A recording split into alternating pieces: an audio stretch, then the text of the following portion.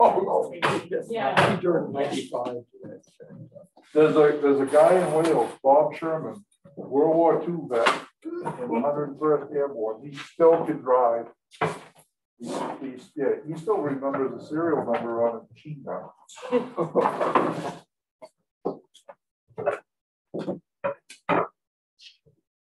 That's important. Well, I just showed you how sharp his mind is at ninety-seven. How are you, kiddo? Good, good, good, excellent.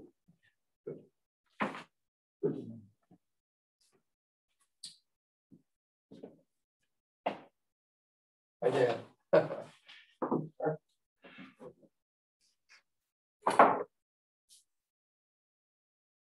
Who's that guy? Dino. Who's that He's guy? Is he? Who's that masked man? Yeah. I know, it's Trying hard to to tell recognize these days. people with masks on.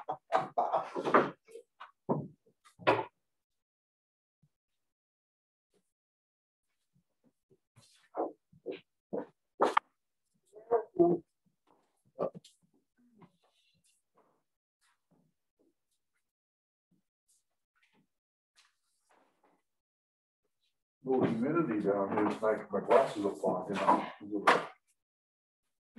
That usually doesn't happen. Well, the basements, you know, and after we just had the Rain. downpour, it was pouring. That's good, we needed it. Yeah, we do.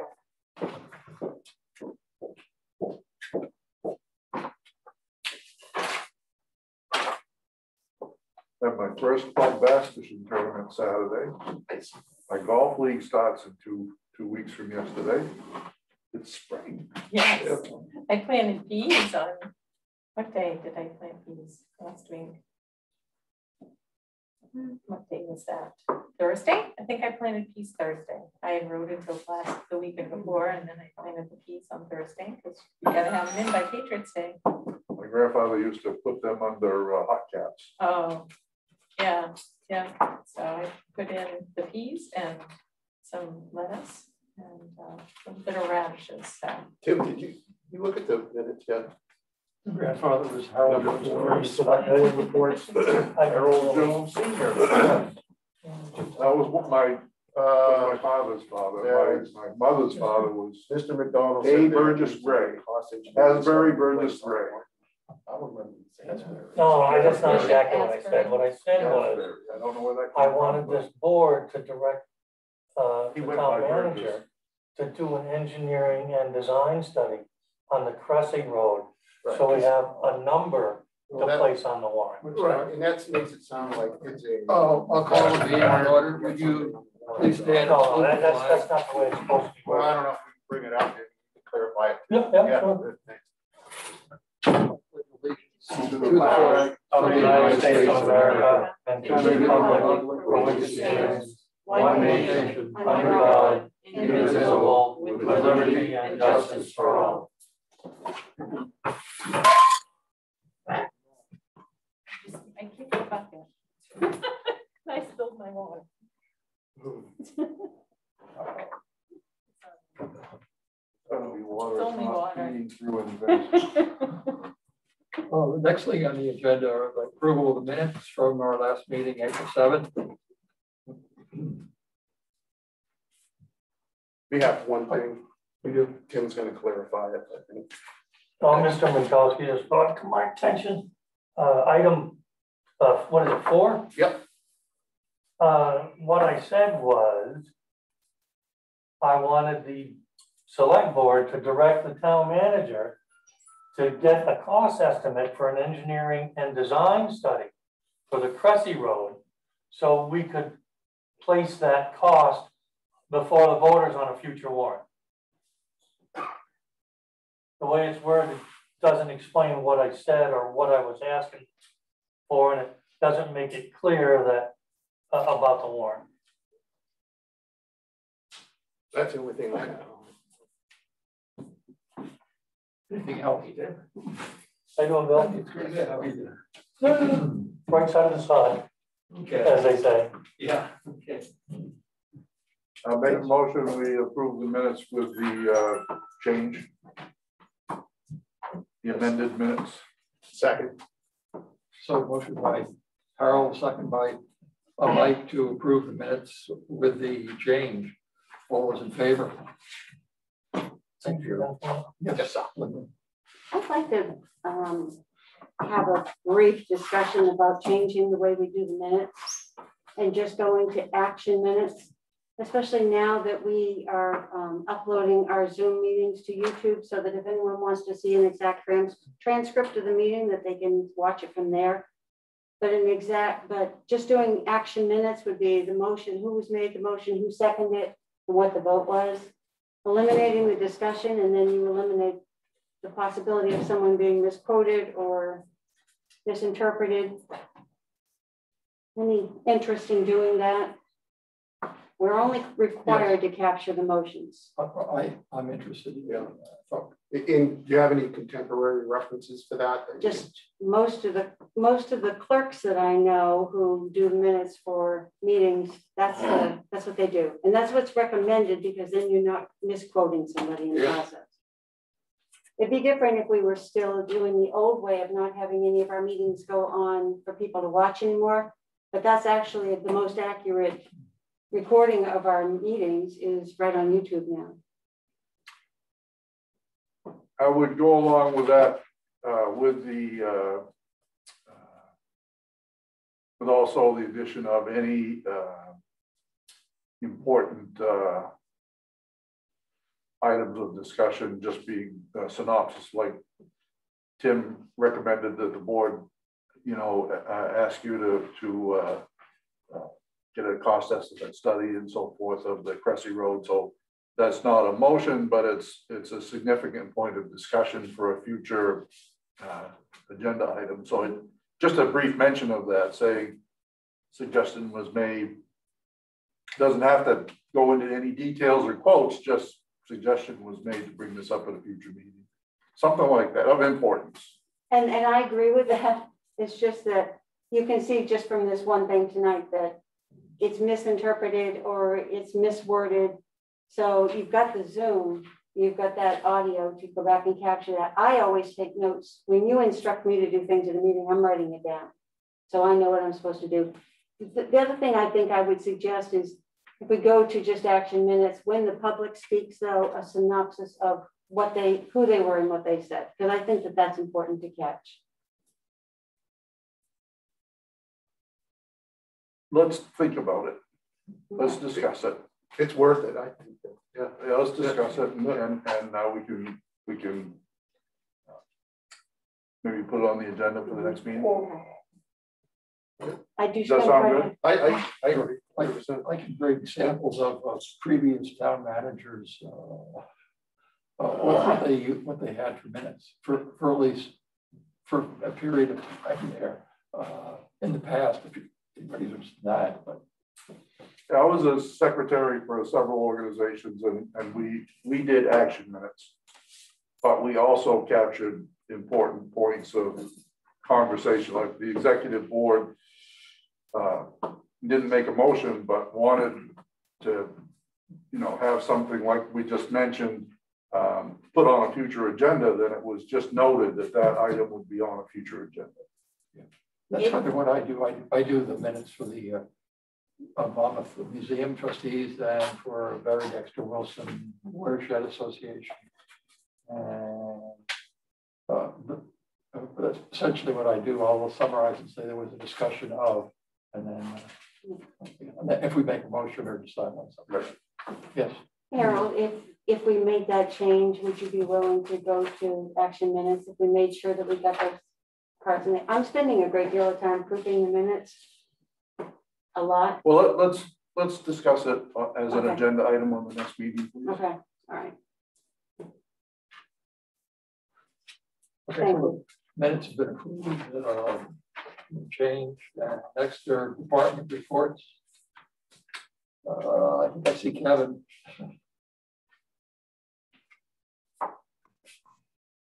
Hi, Kevin. Hello. Hi. Hey, good evening. Um, the only thing I really have to report tonight is uh, Saturday. I'm gonna be down at the transfer station from ten to two for the drug take back. So if anybody has any unused, unwanted, or expired medications, um, I'll be at the transfer station from ten to two. I think it's worth telling, uh, everyone how much you took back last year. It's usually a fairly significant amount. last year it was it was funny last year was just one it was one full box and i believe it was 45 pounds if i remember right Still pretty, that's a pretty good amount of it. Of, of, uh, expired absolutely Rather than going in the landfill, they're being disposed of properly. Thank you. Any other questions Oh, when's National Night Out this year? uh, it'll be the first tuesday in august First Tuesday. Thank you. Yep, correct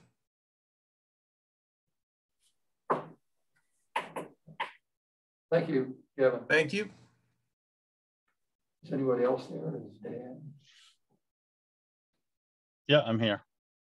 Mike? Oh, where are you? How come you're not? I'm at the, uh, yeah, working my way back from Massachusetts. I'm at the, uh, York, uh, rest stop, so. I'm pulled over, I'm safe. All right. So the fire department, uh, we've been, uh, not, not too busy uh, call volume wise. Uh, we had a few calls the past two weeks. Most significant was, uh, uh, an outdoor fire that almost turned into a structure fire just over the Monmouth line in Wales. Uh, it was a good stop, uh, by Wales and Monmouth Fire Department and other mutual aid towns. So, um, did a real good job saving that, that property. Um, on Saturday, we're going to be going over to Highmoor Farm. We're going to be doing some ground cover fires. That's brush and grass fires. So that's some live fire training. So if you see smoke over there, that's just us practicing for outdoor fires. Um, speaking of that, we've actually had a pretty good spring so far this year, knock on wood. Uh, things greened up pretty quickly and we resulted in no red flag warning days. So that, that was good uh, for us. So hopefully that continues, things green up, and we'll escape any significant outdoor wildfires. Uh, the Monmouth Firemen's Auxiliary is currently taking orders for our chicken to go dinner. And that's going to be on May 1st from 4:30 to 6:30 p.m. And uh, if you want to place orders, because you do need to pre-order, you can just go to our Facebook page or the auxiliary Facebook page, and uh, there's contact information for a few of the auxiliary members to place orders. Hopefully you can hear me. It's downpouring right now. Um, BNS Paving, I met with them uh, a week ago and we looked at the parking lot and they're still on schedule for mid-May, uh, late May at the very latest to pave the parking lot at the center station. Um, they will be resealing the front pad, so there might be a day or two. We're gonna have to park our trucks elsewhere and, uh, you know, stay out of the station while the front, uh, you know, seals up good. So looking forward to that finally happening. And then the last thing I have is the uh, Monmouth Beach Party. we're uh, we're in the process of doing our fundraising campaign, and I've been in touch with town manager to, um, um, you know, as far as the checks coming in and and whatnot. But it, it's it's brought up a, a, question I have that I'd like to present to the board, and, and that is. Uh, going forward, where we're talking about doing something a little different with the committee and trying to separate it from the fire department. And I just want to get uh, some input from the board or from the town manager. Um, is this Monmouth Beach Party? Because it was created as something to do for the town as far as economic development and helping uh, local businesses advertise and, and, whatnot to sponsor a, a, fun event for the town. Is this uh, something we want to continue to run through the town or is this something that the board would want us to separate uh, from the fire department and the town and create a, a completely different entity under the committee? Um, you know, where we'd have to go out and open an account and have checks made out to the Monmouth Beach Party opposed to the Monmouth Fire Department. And the reason for that is, you know, like tax exemption status and, and whatnot. So I'm just looking for some advice because, uh, you know, this year we're kind of already uh, too late and, and we're doing things through the town again, but, you know, I want to set this up for next year uh, to do it right. So I'm just looking for some advice on that uh, so I can steer the committee in the right direction. Chief, any what would- comments? Chief, what would be the benefit of, of separating it out to you, to the fire department? Is there anything that, that you're tripping over right now, the way it's structured? Well, the, the, the way it's structured right now is um, if if businesses make a check out to the Monmouth Fire Department, it's it's and it's being deposited into a a uh, bank account that's under the fire department, which we're going to be we're going to be closing that uh, real soon, and and uh, we're going to be uh, filtering this money through a, the the fire department's revenue account, so it's uh, better tracked for auditing purposes, and because it was tied to the tax ID number for the town, and and you know businesses can can write that off, you know, if they make a donation. Um, so by doing it through through the through the town and the town tax ID number, if we keep things current like it is and just set things up through the revenue sharing, I think that would be fine.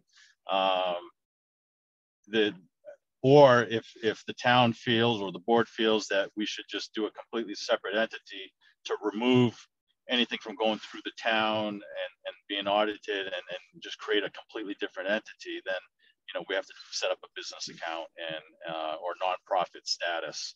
Um, so the, there's some hoops that need to be jumped through, but um, I'd like to do this before the next you know next year's event because it'll take several months to do that.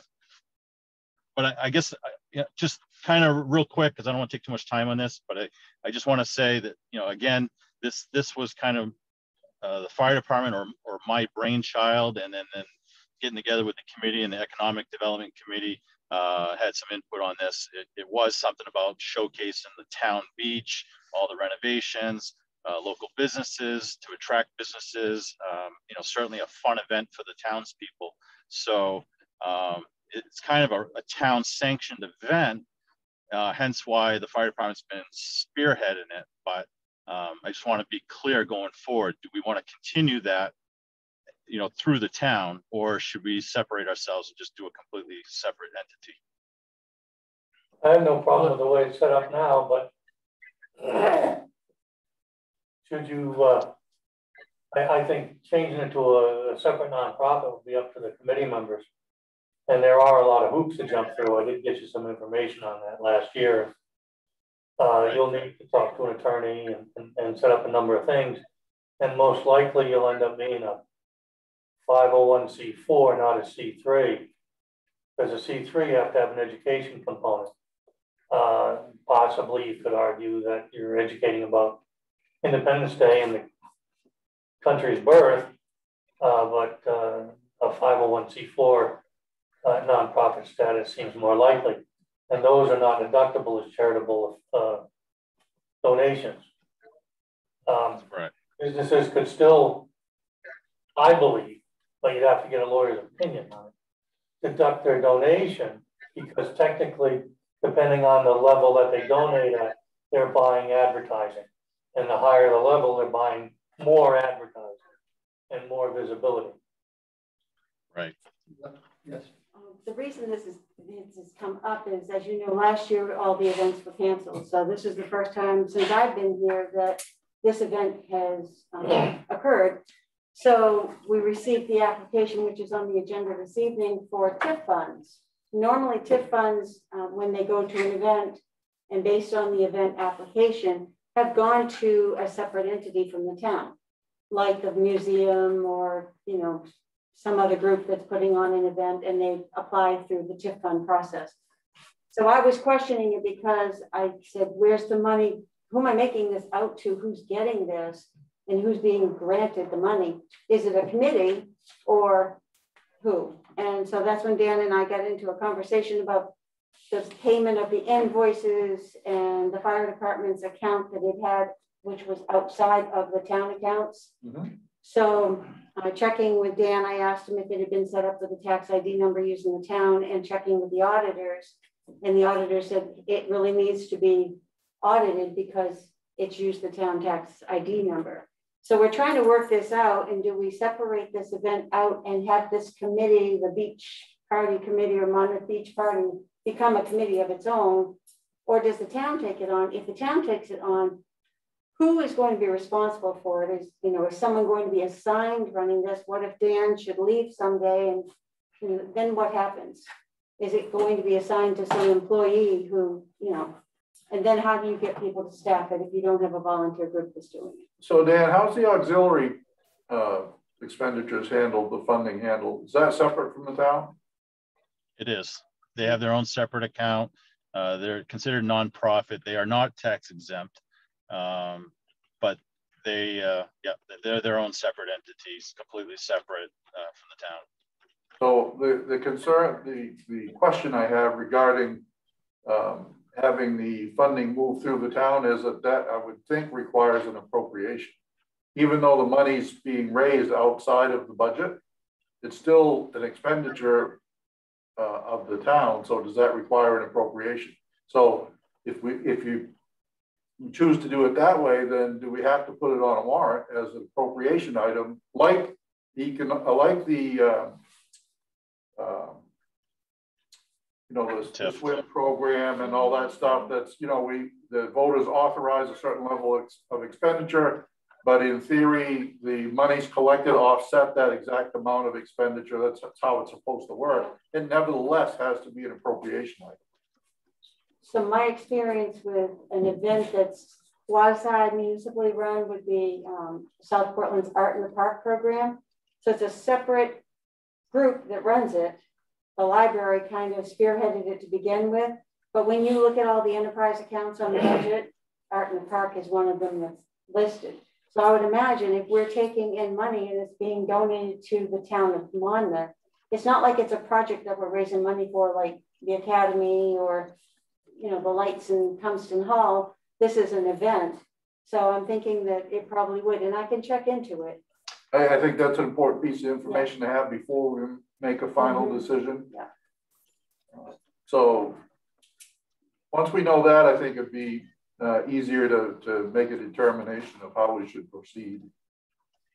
I, I would hate to get into the, I would hate to get to the uh, point where we have to put that on the warrant every year as an item for appropriation.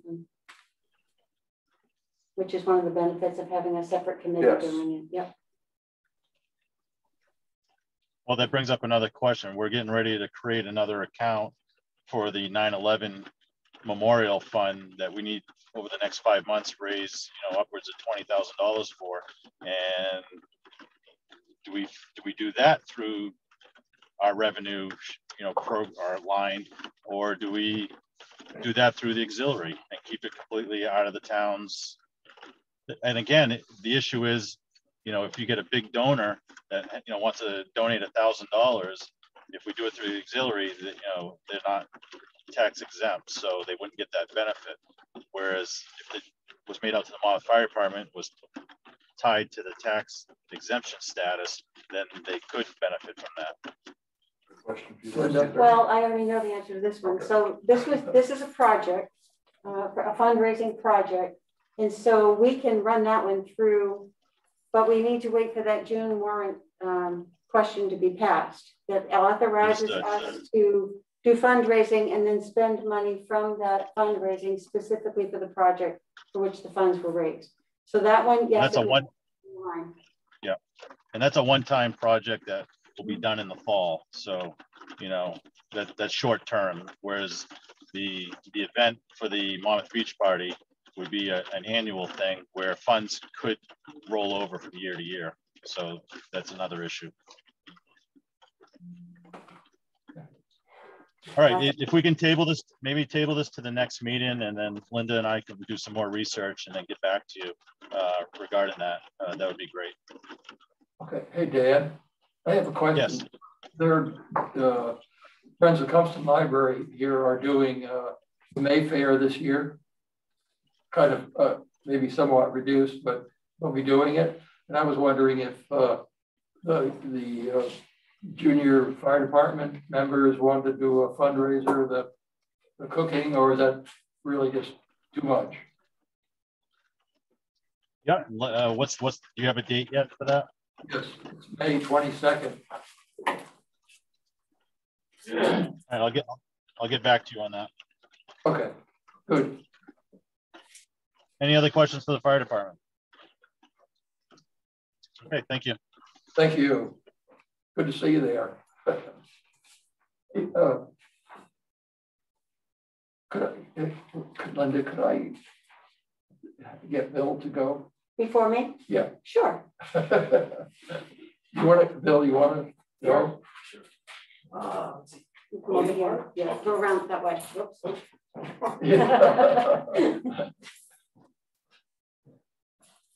Got a few handouts for you. Your assessment dollars to work. The budget. Uh, And I've got uh, six copies here of a summary of the Wilson Pond project that we're getting ready to really kick into high gear this summer. And, and finally, uh, couple documents. I think you may have already seen both of these. Uh, one was from November twenty twenty. It's a one-page summary that we put out regarding the reintroduction of the natives to lakes ponds and Cobbossee watershed. Uh, in, uh, informational uh, piece for the town. And then finally, is a position statement that our position that our board um, formally adopted on March thirtieth regarding that topic of reintroduction of the anadromous fish. I know, Linda, I sent you, did, did you forward those items off to the board uh, report? Maybe. Okay, okay.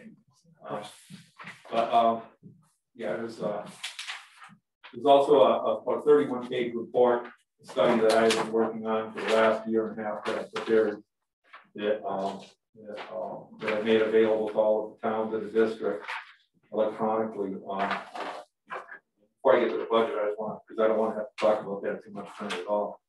But, uh, I would be, uh, happy, in fact, I would like it at some point in the future, there's no real rush, I don't think, but I would like maybe a half hour of your time at some point to, uh, present a brief PowerPoint, uh, presentation on that topic of reintroduction of uh, anadromous fish, which is essentially alewives is what we're looking at. So, Lakes and ponds. Bill? Uh, Linda did send that report to us, Okay, and I did read it. Okay. I thought it was very well stated. thank you, thank you. Herb. And you know, there's a, there's, there's, you know, there's another camp out there with an opposing, uh, uh, opinion, and that's always gonna be the case. And So, um, I'm sure there's gonna be debates in the future on that, so. Um, so I just want, just letting you know is that I know that, uh, I've been made aware by another town that, um, uh, a, uh, private advocacy group, volunteer group out of Gardiner upstream has contacted municipalities. Um, um, uh, inviting themselves or offering to come and give a presentation to the towns. We don't need to jump start or be ahead of them, that's not the issue, so um, they've given us their presentation in the middle of March at a meeting. And like I say, I gave my presentation to the board on the thirtieth, and uh, so um, this is something that's probably gonna have a lot of, uh, there's gonna be a lot of discussion at it, um, about it. Um, Hopefully, there's gonna be some discussion. Uh, Hopefully, it's not gonna be swept under the rug, but, uh, the budget that I handed out, that's, what I'm mostly here for tonight, um, primarily um, the reason I wanted to come and talk to you tonight, uh, some years, I think I could maybe, I don't think I have snuck by, but some years, you know, it's just been a normal or average, usual three percent normally have gone with, that usually has reflected things like our increase in rent, increase in health insurance, actually, that's a little bit higher, or two or three percent of cost of living increase, as you can see on our budget. Um, personnel is, is, is, is, a, is a pretty good chunk of our overall operating budget. Um, last year, uh, because of COVID, um, we immediately just put a freeze on our budget for the year. We decided there's no way we were going to uh, make any attempt to uh, increase assessments. And uh, um, we knew that by doing that, we would not be, we were not going to be able to hire a summer intern like we have been doing for the last 15 years, like two people in the boat. But we also knew that because of COVID, we weren't gonna put two people in the boat, nor would we put two people in a pickup truck to tow the boat. And especially a college student. So so, uh, Ryan did all the lake monitoring last year for the most part uh, by himself, which is not really our preferred method. Like have two in the boat, but he was he was able to get that done. Uh, this year, what we're looking at is a is a five percent increase in municipal assessments, um, and um, the reason for doing that is again we're not going to have uh, a full summer intern uh, work with us this year. However, we do have a, an intern here who was a summer intern, who lives locally and still in our PACES paychecks. Last year worked, I don't know, a couple thousand, fifteen hundred dollars worth of hours. So we did we did need some some help in some cases. So we've, we've added a little bit more to our budget this year for personnel and a little bit for a one or a one and a half percent. We'll figure out what that is on a, a cost of living increase because I think it is one and a half percent this year. Um, the reason, uh, and I highlighted some of the some of the big changes or uh, notable uh, items uh, in red. Uh, the monitoring expenses uh, have gone up about almost five thousand dollars um, over previous years. We've been budgeting about 10,250 every single year for the last five, six, seven years. A state the state of health and environmental testing lab has not changed their, their rates, their, their, their fees for laboratory analysis in any of those years. And last year, um, they had, uh, uh, last year they, they wanted to raise them. They were, they were proposing, and there was going to be a public hearing last year for HETL um, in May, and they were proposing to raise their rates for phosphorus, which is one a new uh, a variable a parameter that we always set for on a lot of our lake, uh, our, especially our big lakes, Annabessacook, Cobbossee, et cetera, because that's the nutrient of concern. They're raising the rate for that one, one parameter 80%. And so um, that, that's a big jump. And then for chlorophyll, which is another one of our main uh, uh, parameters. In fact, those are really only the big two that we actually have to state test. And chlorophyll, which is an indication of the amount of algae in the water, um, um, they were raising 60 or 67%. It was about two thirds percent. So, so overall, our budget for monitoring went up $4,750 for this year. And we, we had to eat that. So um, if you look down, um, the next, uh, I'm not gonna, the things that are black really haven't changed much as you can see. You know, the red item uh, for contractual and NPS direct, those are really for grants. And uh, primarily for this year, it was 6,000 contract. That's the Friends of Cobbossee Watershed. That's for working with us on the Cobbossee Lake 319 non-point source pollution project. And the 27,250 is for paying for direct costs associated with that grant. Uh, that grant is not going to be in this next fiscal year. So um, we will have only one grant in this next fiscal year. And I gave you a handout with a summary of that, this Wilson Pond project. And the thousand dollars in red, that will be for the Friends of Cobbossee Watershed that are working with us on Wilson Pond. And the twenty-five hundred dollars is also for direct costs for that project. Well, going down health insurance benefits, um, uh, I, I kept them frozen for what we proposed last year because I don't know if the town has Maine Municipal Employees Health Trust or which plans you have. But we use the fifteen hundred at the Cobbossee Watershed and uh, district and uh, thankfully, uh, last year in January is when they uh, make their adjustments. They did not, they made no increases in, in, in health insurance. And I usually budget about 7% um, annually because um, uh, they've been doing things like that, 7 or 9%. They didn't raise it last year. So uh, as you can see, I'm only in the left two columns, I'm only looking to spend, we're only looking to spend around 29,000 or so for health insurance but I still expect that seven percent increase to kick in probably this coming January. I, you know, so I had budget for that. Um, going down, nothing else has really changed much. If you, have, if you see anything that stands out that you have a question about, uh, please let me know. The other thing in red is down in the income uh, below the five percent, and that should be five percent for actually the uh, district contributions. Um, I rounded one dollar uh, up instead of down um, so it added 65 cents and kicked it up to 5.01 cent, uh. But um, uh, Dan Wellesley, Kathy. Um, let's see, uh, federal state grants, uh, twelve thousand, that seventeen thousand is the Wilson Pond grant. That's a sure thing. We have that contract. We're, we're, we're, working on that grant now. We're just getting into high gear. Five thousand of that, of that seventeen thousand is a mystery grant. Well, I mean, I know what I'm, I know what I'm proposing. But I don't know if we're gonna have that five thousand dollars. That fit seventeen thousand might be twelve in income. And so I'm, I'm gambling, um, that that's gonna be there to help balance the budget. The proposals for three nineteen are due, um, May twenty-sixth, and I'm not going to know, um, uh, until July maybe, uh, or so, if we get awarded that grant, uh, which would be a phase three grant for Cobbossee Lake. So, um, we have, I've been here twenty-nine years, and I think there's only been about two or three instances where we have, where we failed to secure a grant when we put the proposal. We've been very successful. And uh, nobody at DEP can guarantee us anything, but uh, they've given me good feedback on the third uh, phase for Cobbossee Lake, because we still have a lot of work to do on, on that. It's a big watershed, big, big, lot of camp roads, a lot, lot of roads. And lastly is, the last red thing is, um, we will still be forwarding seven thousand nine hundred fifty-five from our reserves. And, um, that's not something we want to do. And like I say, if we don't get that other grant, that seven thousand nine fifty-five will turn into like twelve thousand nine fifty-five.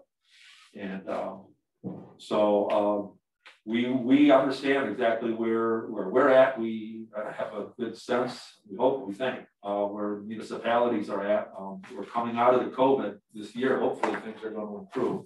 I'm totally unaware of what the situation is with uh, COVID relief for municipalities, state government, and that. You probably know way more about it than I do. I have researched that. I hope it's going to be very, very good for everybody. Uh, hopefully it'll help uh, offset any losses in state revenue sharing as a result of the loss in you know, sales taxes and, things like that. But um, uh, I'm hoping that um, I mean this. Uh, I've run this by several towns. Manchester, uh, Winthrop was was good with this, or at least they didn't say anything.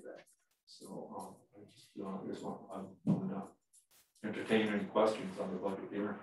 So for the record, Bill, because it's, it's being recorded, just if you could briefly explain uh, why the budget, the overall budget is going down, proposed budget is going down from three hundred twenty-two, eight eighty-five, uh, excuse me, three hundred twenty-three, five ninety-four, uh, which was the budget last year, to three hundred and two thousand, but the municipal assessment is going up five percent.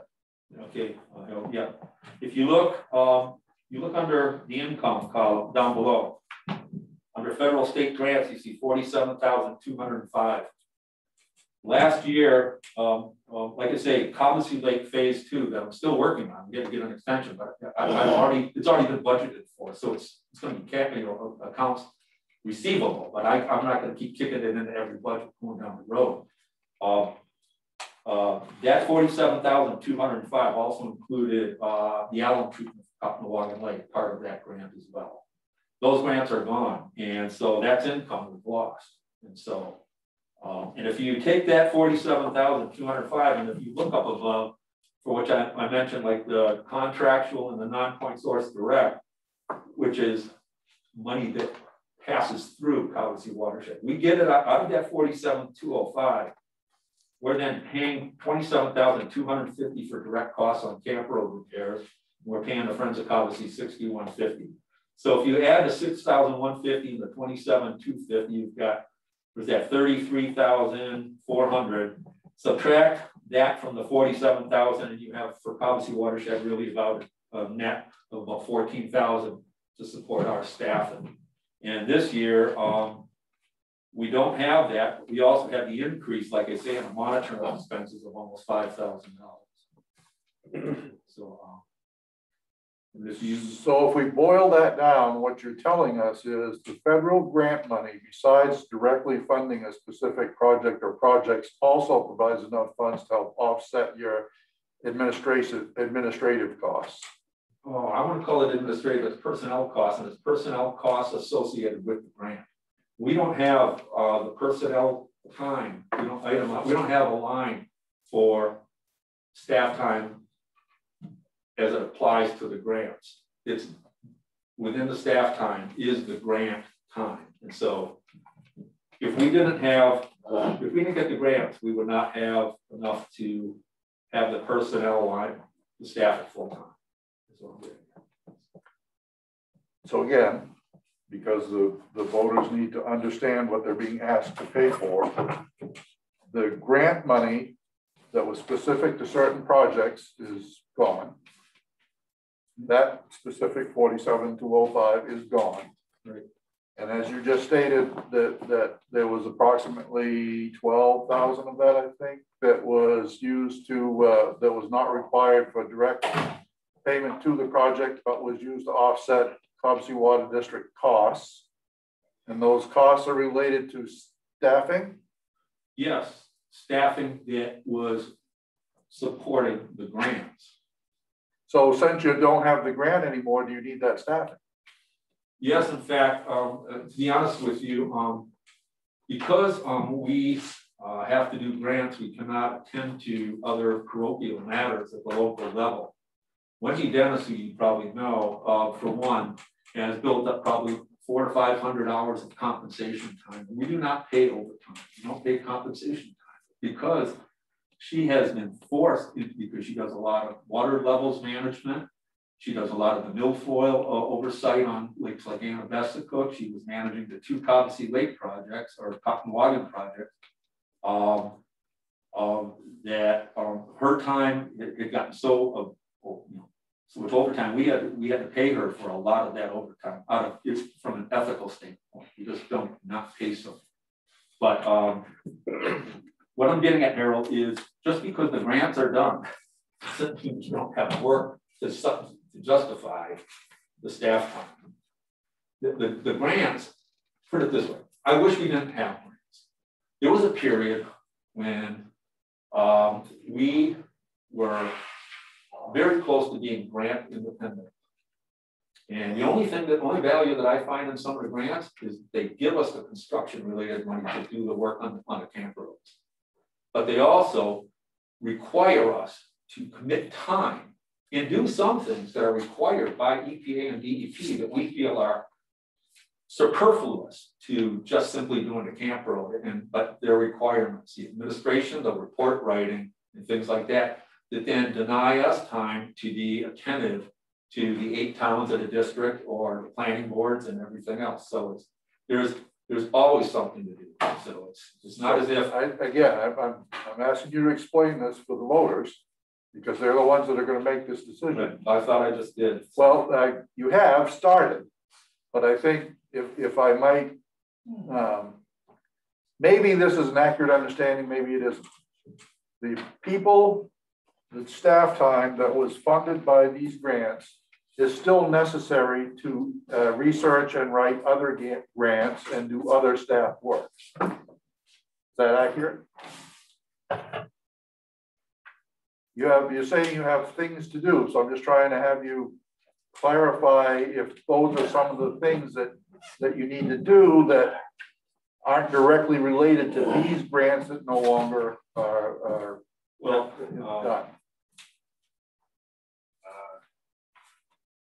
again, um, when we're doing these grants, we're also working overtime to do the work that is required to do what's needed to be done in the Cobbossee watershed. These grants have more or less benefited the taxpayers and the residents here because they have enabled us to not increase assessments any higher than necessary. But nobody is working only 40 hours a week at the Cobbossee Watershed District except for our water resource technician. But I'll tell you, Dean and Wendy are certainly, um, and we're not getting paid the overtime. At least I've never done it. But um, the thing is, is that uh, all of the work that, that I feel is justified by the budget in the 2022 proposed has been getting done and is going to continue to be getting done. And uh, if we don't get those grants, thankfully we won't have to work 50 hours a week. I won't have to come in on Saturdays and Sundays to work on things. Um, there's, uh, but because we have been getting that grant money, we've been able to keep it maybe at a lower uh, assessment increases. Just, I'm not trying to be difficult, I'm just, No, I understand. I just. Well, I, I guess what, I guess what I can tell, I say is that, um, the, the alternative would be for us then to, uh, have our staffing time simply, uh, rated relative to grants. And so if we were to then, uh, reduce our staff time so that the, the town's portion or whatever, and drop staffing hours to thirty-five hours, all that would mean is that we would then be adding about five extra compensation hours a week to everyone's overtime or else they wouldn't be able to do the work. The Work wouldn't get done. Just, just want to have as clear an explanation as possible out there, because when the voters look at the warrant this year, Yeah. they're gonna be under a lot of pressure. There's, the school uh, is gonna be looking for uh, better than a mill, uh, more of their money. Um, and, uh, you know, so, uh, there's, there's always the potential that the, any part of the budget or the whole budget will get kicked back. Right. I'd like to think that town Monmouth doesn't feel like they have, haven't been getting their, their value for what they pay to Cobbossee Watershed District. Um, over the last so many years, um, we've done, uh, I'm doing a Wilson Pond project right now. I've done uh, two phases of Cobbossee. We just did two, pro- three projects on Cochnewagon Lake. Of all the towns in the district, I'd say Monmouth has probably got the best bang for buck. And I'll, I mean, I, I can honestly say that, and I could probably be able to demonstrate that for you too. Yep. Um, so it's, uh, uh, there's a lot going on in Monmouth with regard to Cobbossee watershed and with, you know, the, the grant. Last year, I had three or four road projects done in Mon, uh, on Cobbossee Lake in all four towns. And I don't, there's five, I know, West Gardiner's not a member town, so I haven't been doing work there. We upgraded uh, Rocky Point. We upgraded Boynton Road. We upgraded uh, Frost Drive. And there was one other one, and I've met with the property owners on Maple Ridge. And I've gotten a cost share agreement with Maple Ridge Island Road Association three weeks ago. And that's gonna probably be the most expensive grant-related road project I've done on any grants. They're gonna pave a good portion of that, and it's gonna be supported by our policy. So, and uh, so, I don't know, it's, uh, I mean, I, I personally feel that Cobbossee Watershed District provides pretty good values. And that's what I wanted you to explain, because this is being recorded on Zoom and, and a wider range of, uh, audience will have access to it if they choose to do that. So in order for you to make your case for your five percent increase in funding, I wanted you to give some, uh, some of that explanation. No, I, I perfectly understand. Bill, Bill, I got a question about the com- Yeah. uh, compensatory time. Um, that can't be an unfunded liability. You have to be able, if somebody decides they want that money, you have to be able to cash that out at their request at the time they request it. Is that, is that how it's working? so. Not if you're an exempt employee. I didn't realize they were exempt employees. We have exempt employees, employees that are supervisory, write their own proposals, make their own hours essentially, you know. Uh, there's only two of us that are exempt. Well, that explains it for me then, okay, I didn't, I didn't, okay, great, thanks. There's not exempt exempt employees. Uh, not, uh, exempt employees are not entitled to overtime, so federally. And, uh, it's always in the district policy. If somebody resigns, leaves, retires, quits, gets fired, whatever, and they have unused vacation time, you have to pay them for that. You have to, pay- well, we have, to. that's our policy. And, uh, we, you know, there's a ceiling of hundred ninety-two hours you can accumulate. So that's the most you can be paid. Um, and we don't pay for unused sick time. Um, and we don't have to, we don't have to pay for comp time.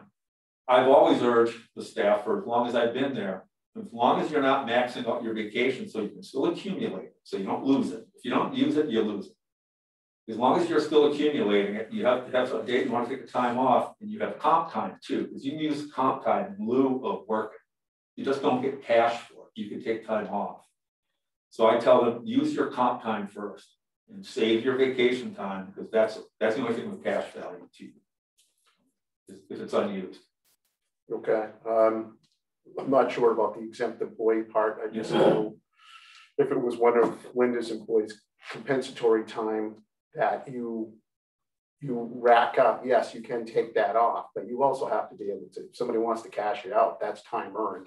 So you'd have to, but you're talking, we're talking two different things, and I didn't realize we were talking exempt employees. Well, see, yeah, with exempt employees, let's say, can work from home, at home, and they can put on their timesheet their hours if they're working. But like, you know, like Wendy, if she's working on a report at home, and she's on the weekend, she's just, she has the work to do. She's not trying to bank the hours. Um, she puts it on her timesheet. Um, that's at her, that's at her, she can do that if she wants. But, but um, I, you know, I don't have to um, authorize that over that comment. But at the same time, um, uh, I also can't verify. So why should we be forced to pay them? Exempt, exempt employees above a certain salary level, Fifty-one thousand dollars a year. correct, That's right. are not subject to, are not subject to the, the- what Mike's asking That's. Right, and, and that was the part I did. And if they're a supervisory position and they also are themselves like a project manager. Exactly. Right, okay, I'm Yeah, fine. yeah. I just thought it was, you know, like an office help or something like that. You're talking, about it's a separate thing. Right. Yep, thanks. No, that's good. That's a good question, Mike, because not a lot of people know that. I think half of our board probably is aware of that, so. Um, anything else in the budget? Okay, well, I just, uh, I gave you that summary for the Wilson Pond project. Uh, that's an important project for us to update the watershed-based plan because we had previously conducted phase, phase one of phase two on Wilson Pond, your staff. Wilson Pond is still struggling water quality wise. And it is not eligible for us to pursue federal grants to do work in that watershed.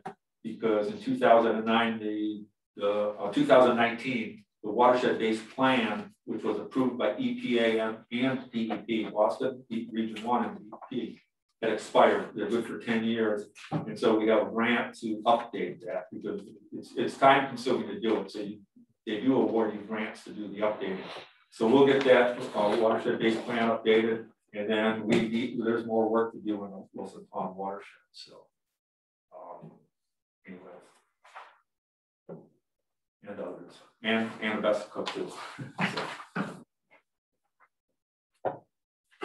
You, you all set?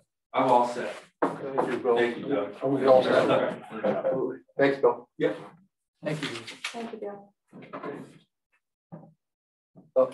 Linda. I just have a few things. Wanted to let the board know that we are putting the ad in uh, the papers and in various um, construction journals and places where uh, construction type people look for bids and RFPs uh, for the North Main and the Beach Street sidewalk project. We're going to hold off on doing uh, Maple until we work out some issues that we have with the Maine Department of Transportation on some of the drainage issues down there. They have some water concerns and we're still talking about catch basins. But um, we are going to move forward with this with a final, we're going to be working around the beach party. So we'll do North Main first and then uh, start to do Beach Street after the beach party in July. So we won't be disrupting anything there with a final completion date um, of October 1st on that project. We're still waiting for the permit from the Department of uh, Environment, Environmental Protection for Wilson Pond Culvert project. And that work will be taking um, place this summer at some point, possibly late summer. We're trying to make these projects as flexible as possible because a lot of these contractors are busy and their prices, uh, the less flexible we are, the higher their prices will be. So we're trying to be a little flexible on that. So it could be early fall before the Wilson Pond uh, culvert is replaced. But at some point during that project, there'll be a couple of weeks where that road is gonna have to be closed, which I know is a major inconvenience for people because they have to drive all the way around. We will post that in plenty of time so that people know that that's happening. Uh, just want to let the public know that the town office is going to be closed next Wednesday and Thursday until one o'clock each day. Maine uh, Bureau of Motor Vehicles is coming down to do an extensive motor vehicle training with the front office staff. Anyone who needs the code enforcement officer on Wednesday uh, should call the office and uh, hit the extension for the code enforcement officer. Daniel will be in and be available for uh, meeting with people on that day. Lastly, I have an email from the Recreation Committee from Pat Hash. Uh, she wanted me to uh, let you know that the Recreation Committee is again recommending the same rules apply to the beach as were applied last summer. And that would be that the beach uh, is open to Monmouth residents and their guests only, and the guests must be in the presence of the resident. Passes will be available at the entrance to the beach to those providing proof of residency. A guard will be present at the entrance uh, to check for residency. And out-of-town children who have been enrolled in swimming lessons may continue them. This was the process that was used last year and the select board was happy with that. Uh, so Pat wanted me to pass that on to you. She is on the Zoom meeting if there are any questions about that. Any questions? No, thank you. Uh, next is, uh, select board reports. Yeah, Okay. Uh, then public comments.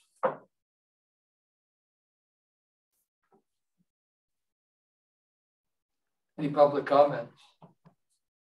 I see Sandy Schiller has her hand up. You- Uh, you're muted, I think.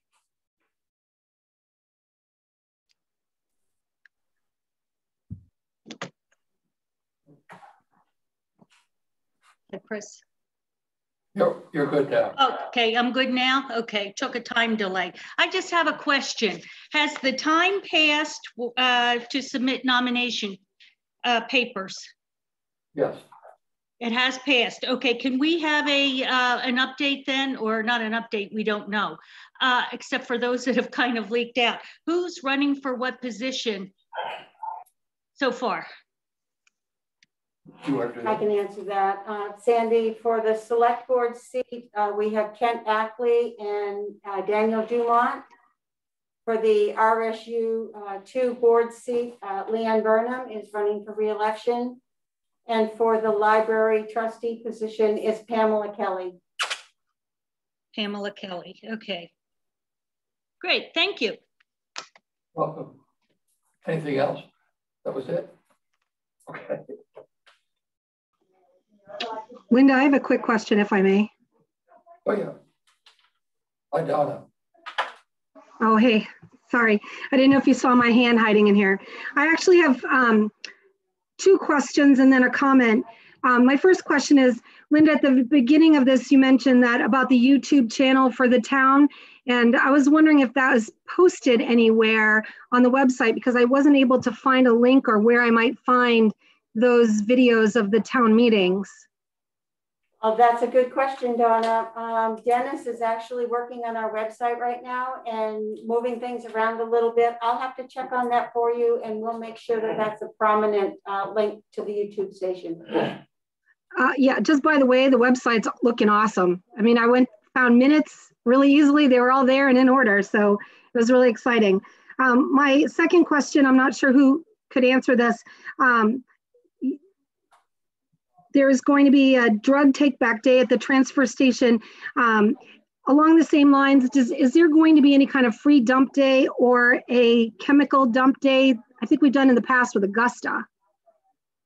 What happens is uh, now you have a uh, punch card where you get uh, certain things uh, throughout the year. So you don't, you're not limited to one day. Uh. I think like ten dollars in demo, couple of tires, one free on appliance, and then they, they click your punch card or exit off. And uh, in the past, there has been a hazardous materials uh, drop-off day. Uh, generally, um, I can't remember who's uh, organized that in the past, but I think it was, I think it was Chief Mulheron. And uh, that involves pre-registration with Augusta. Each individual. Yeah, it wasn't Augusta. What they're bringing in and how much. And there's a specific day they can be dropped off. I think it was Herb Whittier who, who really organized. Was it her that did it? And the chief was shaking his head, Tim. yeah, no. Well, I thought that would be helpful. I know I took advantage of that hazardous day like several years ago um, with some old paint and stuff that was in our house and chemicals that were here when we first purchased it. So I know that it's really helpful and it was in Augusta. So I don't know if there's someone that could find that out for everyone and just let us know in the future if there's something like that opportunity made to Monmouth residents. That would be really um, helpful. I'll look into Okay, and then my only other statement is that um, at the beginning, I, I'm not sure the conversation in total because I did have to step out for a minute, um, but I think Dan was talking about the beach party, and I would caution people that if the intent is to have contributions be tax deductible, a 501c4 would not be the route. While it's tax exempt, um, contributions would not be tax deductible for those people that donated. So, and I know you at the end you were tabling it, but just wanted to put that out there. And thank you. That up, and that is true. That, that is accurate. Donna, if if your paint is one of your concerns, you know that you can dry the paint out and then turn it in, right? Oh, yeah, I do. Yep. I just know that um, some people had asked me what we had done with all the chemicals that we had in our house. It wasn't just paint, there were a lot of stuff. Um, and I said, hey, there's a free day that the town advertised in Augusta. And because it came up, I just thought, hey, you know, I should ask about that when I heard the chief mention the take back the, the drug thing at our um, transfer station. But because I haven't heard actually in a few years. I mean, it was a while ago. I don't know that we did it last Well, the only thing I will bring up is that uh, three years ago, we participated and no one uh, brought anything from Monmouth. Now, whether it was poorly advertised or, or there just wasn't anything to go, I, I don't know, but I don't think it's happened since, but uh, probably would be a good thing for us to make that contact and, and uh, make that opportunity available. Thanks. People should have a way to dispose of unwanted Well, paint, pesticides. paint thinner, pesticides, whatever it is. Yep. Uh, There's a number of things you shouldn't just throw in the hopper. Thank you. Thank you.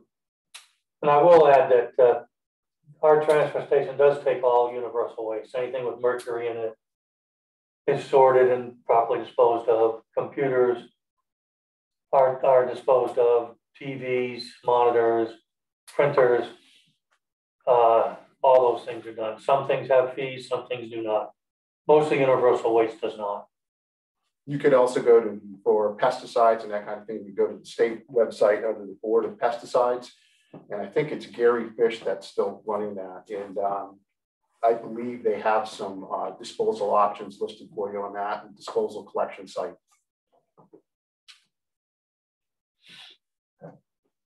The only one I will bring up is I have discovered it is notoriously difficult to get rid of a propane cylinder.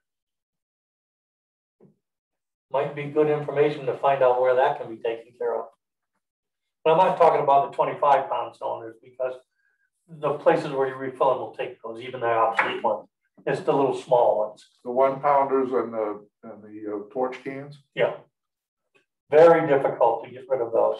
They really don't like them going through the hopper and into the into Oh, 'cause the uh, incinerator because they explode. But, uh, I, I think I've taken them through the, uh, metal container yeah. down, down below. That's what I've done with mine. Yeah. So You're not you supposed, use- I, I'm not supposed to do it unless you physically pierce the container. Right. It's not, it, it- told you it's, it's a, it's a potential, it's a potential explosion hazard unless it's been vented. Yeah. So that it can't, you know, it can no longer stop gas from escaping. So like Sim said, punctured. There is a vent, I think. Right, but that vent can close. So unless you pierce the shell, like Tim just said, then it's considered an explosion hazard. The reason I say that is because I have a cylinder I've been trying to get rid of recently. It's not easy to get rid of those things. Any other public comments? Nobody, nobody there. Yeah, somebody's got their hand up. I can't see who it is. Dan Roy. Yeah, it looks like Dan. Hello. Oh, yeah. So I, I failed to mention earlier, uh, we- the Red Cross is doing a blood drive at our fire station next Thursday from 12 to 5. We still have some open slots. So if you go to the Red Cross website, you can pre-register for a time slot. So I just wanted to mention that. And uh, as far as the propane tanks, you, you're absolutely right. Uh, make, make sure all the propane is completely exhausted or spent. And uh, those small ones, you can dispose of them in the metal waste uh, recycle bin. Uh, but it's good if you can pierce pierce it just to assure that there's no uh, residual vapor that's inside the tank. So that's all I got. Thank you. Thank you. Drive safely. Seth, Yes, I'm sorry, I, I wanted to just mention one thing, since we have quite a few people on, all of the budget documents have put, been put on a prominent place on our website. Um, all of the spreadsheets, the uh, warrant itself is up there. But we've, I've also included some photographs. Uh, we had an aerial done of the old middle school because we know that question 32 and question 33 especially question 32 is pretty confusing. And so it's a little rudimentary, uh, excuse my drawing skills, but I have done the best I can uh, to show what question 32 will do to the buildings on that site, which ones will be saved, which ones will be removed.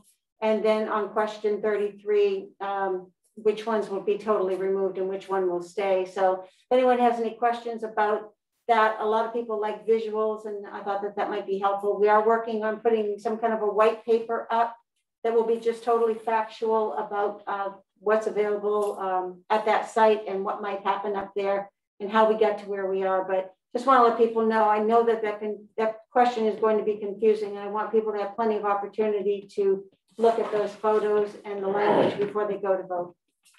Thank you. Thank you. Okay, any, nothing else there. All right, uh, next is, um, request for twenty-five hundred dollars in TIF funds for the Monmouth Beach Party. Uh, This application came to me uh, last week, I believe, uh, from Don Hodgson, who's one of the members of this group, putting on this event.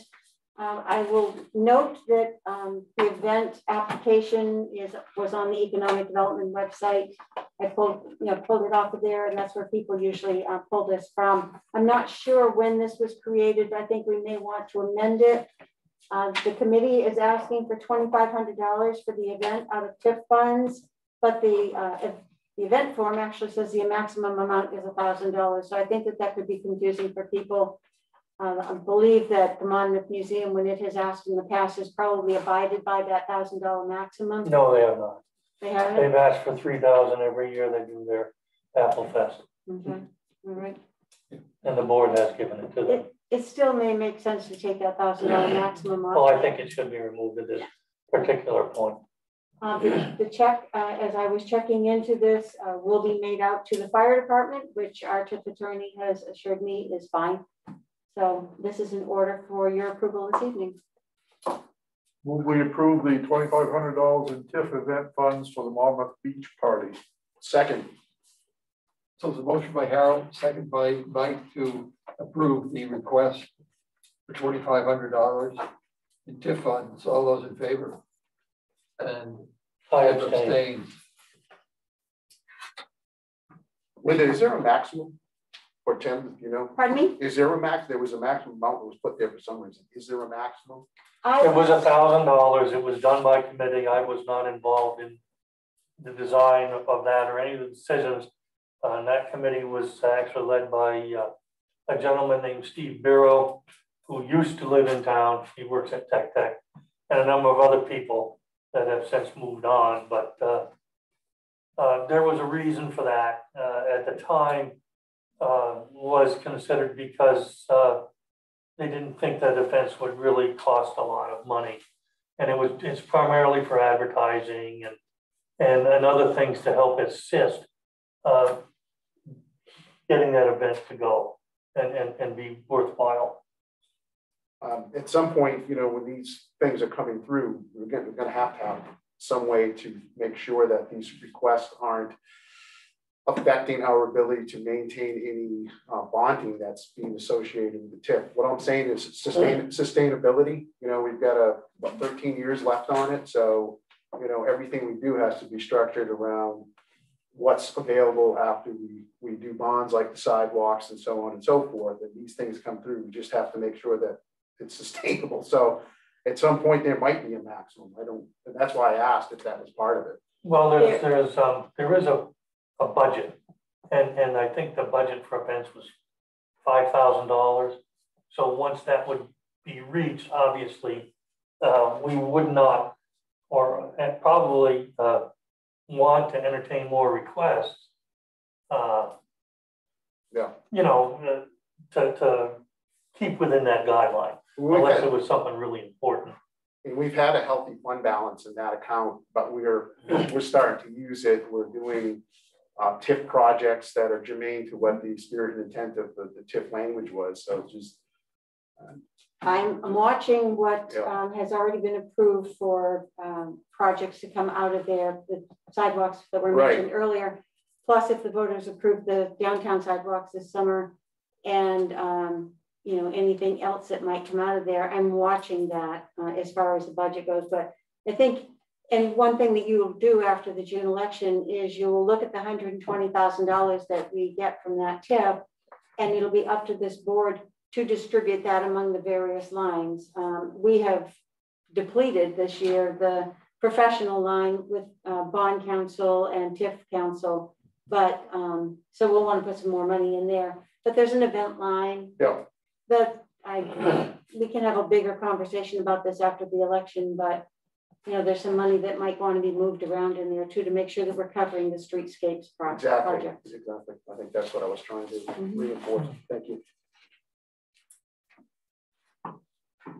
The Uh, only, uh, if I might just add, the only other thing we may want to look at in the future, I don't think we need to worry about it right now, but, uh, as that substation ages, uh, depreciation, um, and, and, uh, other things will kick in and the assessment on it will go down. And that may affect the revenue from the, from the TIF. So we need to, to look at that in the, in the near future to, just to make sure we're not going to to outdistance that. And that's another good point that goes along with the big picture of this as we start dipping into those funds. Okay, anything else? Uh, next thing is the abatement of uncollectible taxes for uh, a lot, two lots, I guess, in West Village, mobile home park. I'll let the rest of you, uh, go ahead. I've been dealing with um, the owner of this park on these two lots now, pretty much since I got here. Um, There's a law that requires anyone moving a mobile home over the roads to get a permit from the town. And when I sign off on the permit, there's a place that says that the taxes have been paid. And I can't say that on here because the people who own these mobile homes abandoned them a couple years ago. The mobile home park owner has tried to contact them without success. Uh, when this first came to me last year, it hadn't been long enough for me to say, yes, we've been trying to collect these for two years because the statute's very specific about that. At this point, I've included in here an oath that I swore in front of a notary saying that we have attempted to collect these taxes. We uh, allowed the, uh, working with our town attorney, allowed the mobile home park uh, to sell the mobile homes to hopefully get some money that he could help pay on the taxes. And at that time, that was a month ago, he didn't get enough to pay anything on the taxes and also pay on his own expenses. So without, we're considering that to be another attempt to um, try to collect. And so at this point, I can honestly tell you that there's no way I'm going to be collecting on this. And so you would be abating uh, total taxes on the two of these lots and a little over twenty-four hundred dollars total, which also includes fees for filing the liens and sending the notices. When Before the rest of the, um, excuse me, before the rest of the board, because I don't really, I'm, I'm gonna let the rest of you guys discuss this, but this has happened before with the same owner. Oh.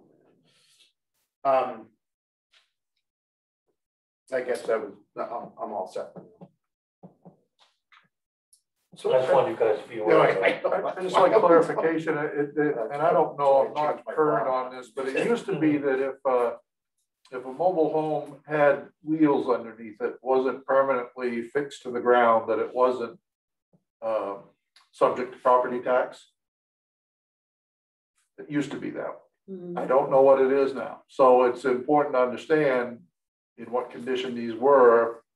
If they were moved out, did wheels get put under them? What, how were they taxable?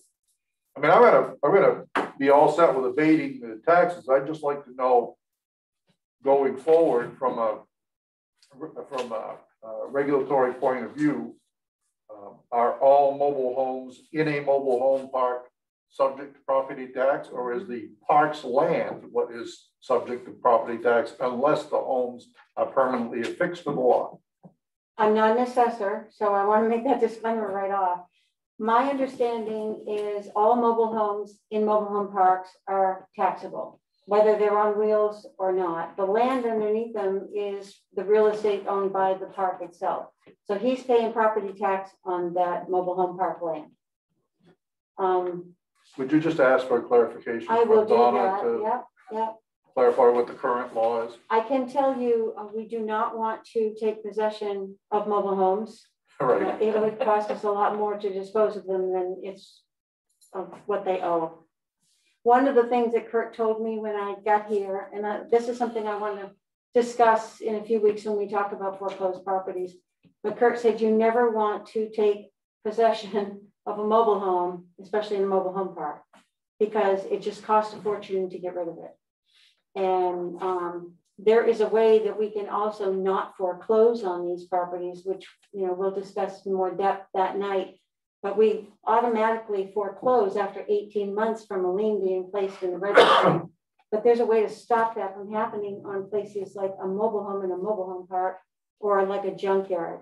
And those are places that the town really doesn't want to own because then you become liable for either disposing of them or in the, the case of a junkyard, any kind of hazardous materials that have seeped into the land, all that hazardous mitigation uh, could become the liability of the town. So that's something we'll talk about in a few weeks when I bring that forward. But for now, we- we're not going to be able to collect these taxes. We need to get them written off the books. Linda, real quick, um, you said that the owner of the park was able to liquidate one of the, uh, trailers or mobile homes, excuse me.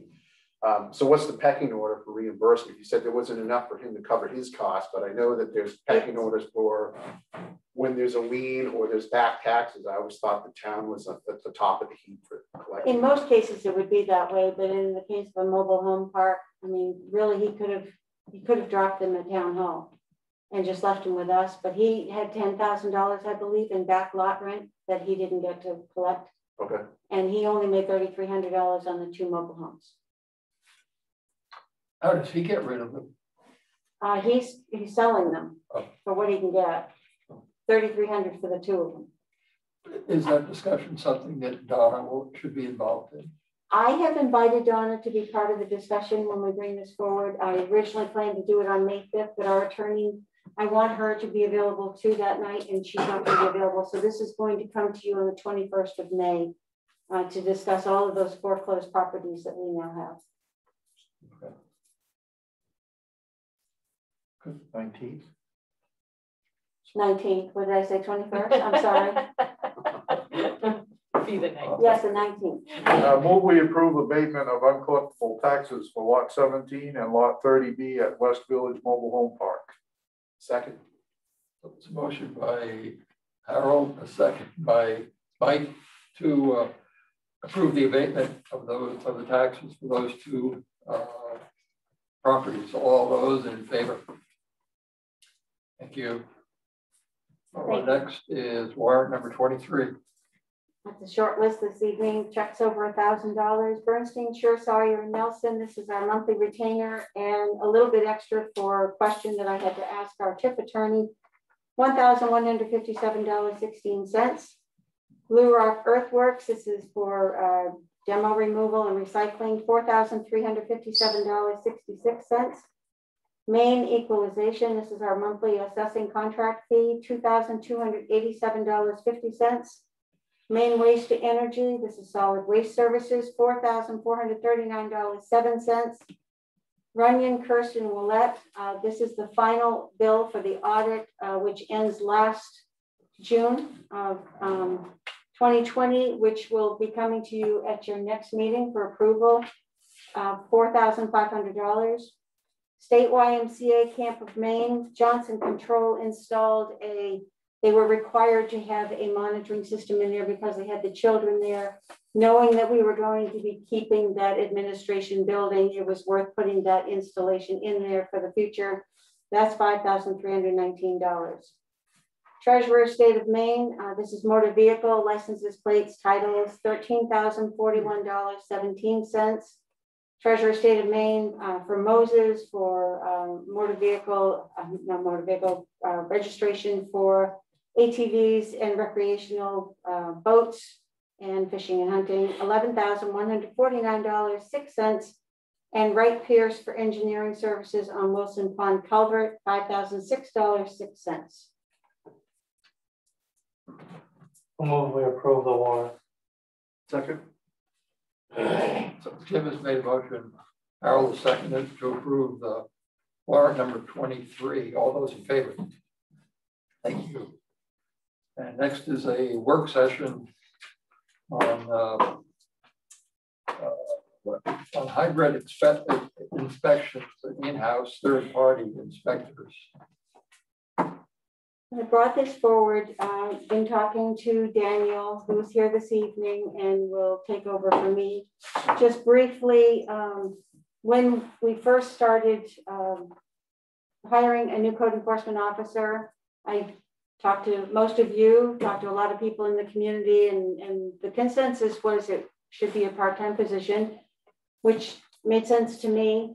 Uh, but we also were getting a lot of feedback from some of you, some people in the public saying that we really should go to a third party inspector system where uh, the code enforcement officer is not the person doing the inspections of the building permits, but a third party inspector is doing that.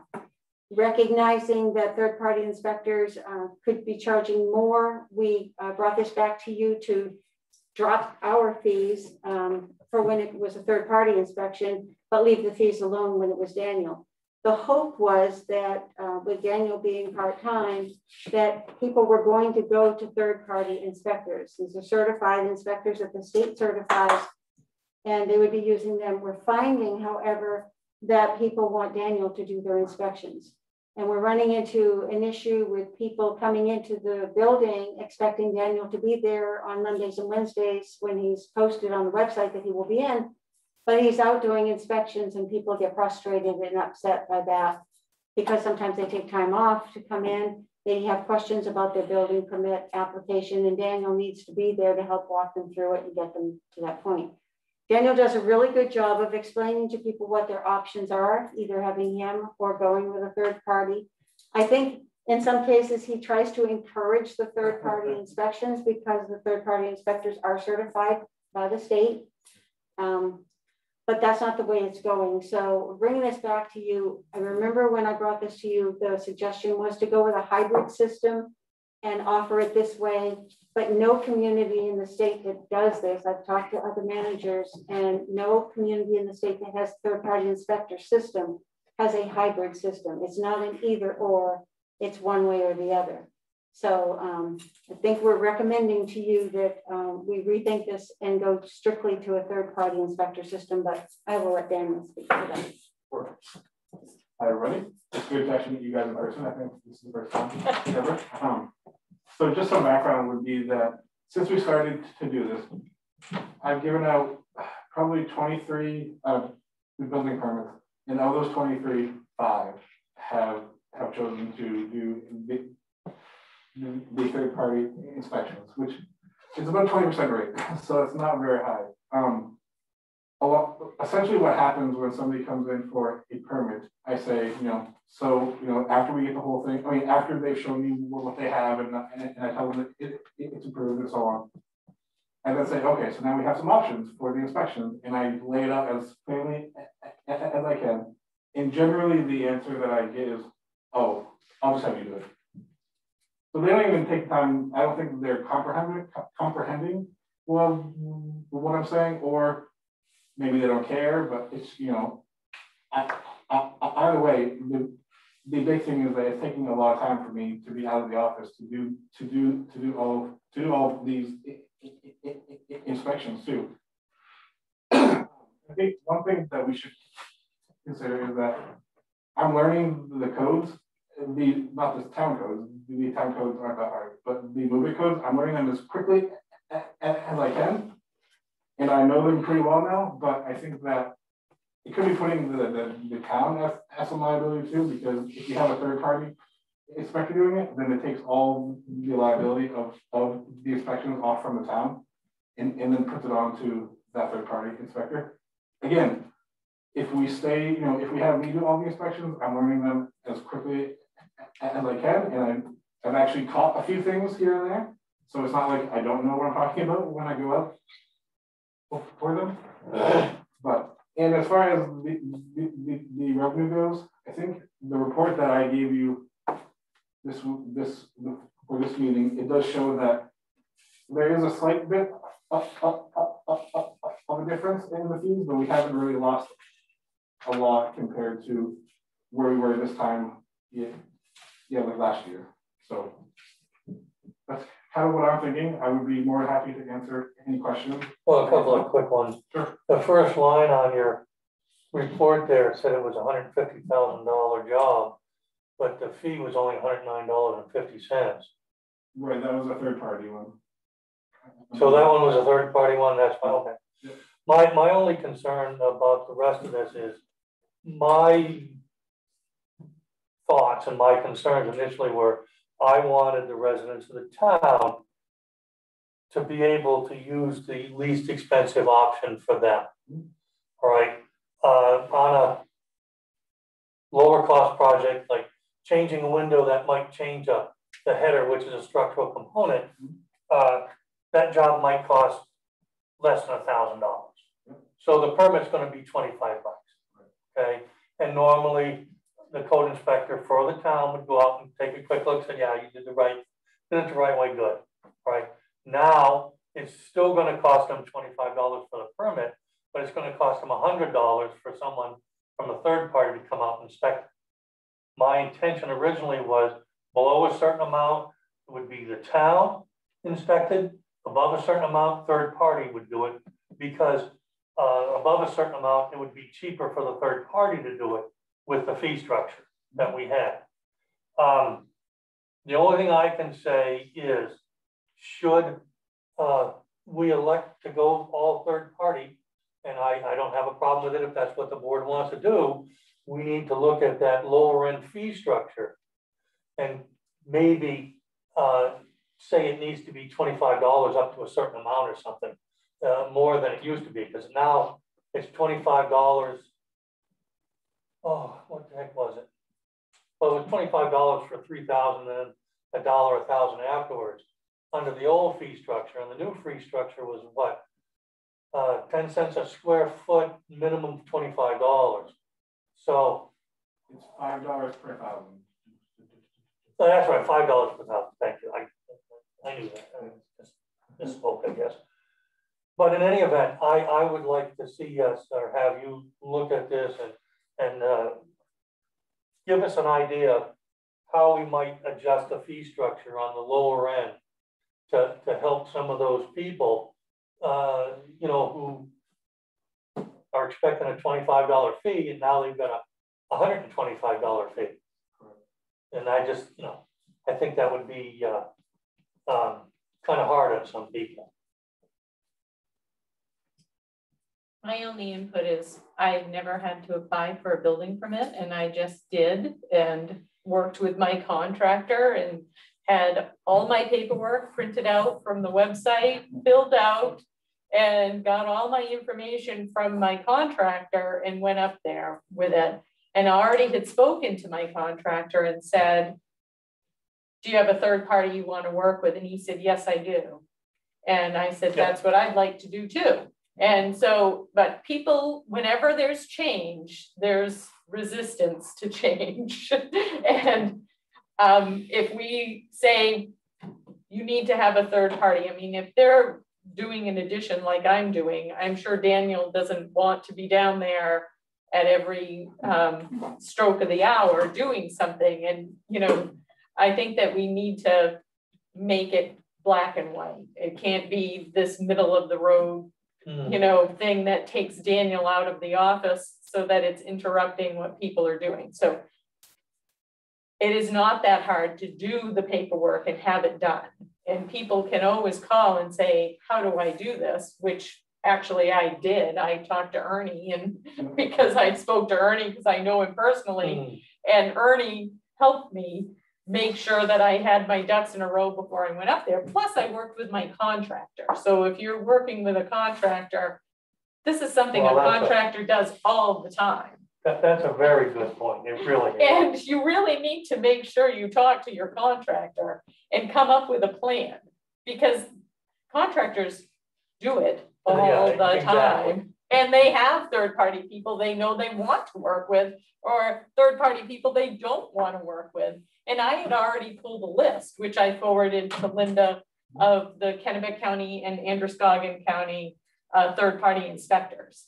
And, and so that list is available and they were right there on it. So you can get their email addresses and get in touch with them. So, um, you know, to keep Daniel in the office, I think that we need to, to make a decision about that. And yes, if it is a third party and it's only a window replacement, then maybe we need to figure out tweaking those That, that's my, yeah, that's my those, point. those little numbers for, for little things like that, but, um, So I'm just, I'm just concerned that if we go hundred percent third party and we don't have an option for extremely small projects like a window, like replacing a 3.0 door with a three-six door or, or whatever, that, that technically requires a permit, but the person's gonna do it themselves. And so they get the cost of the window or the door or whatever else it is.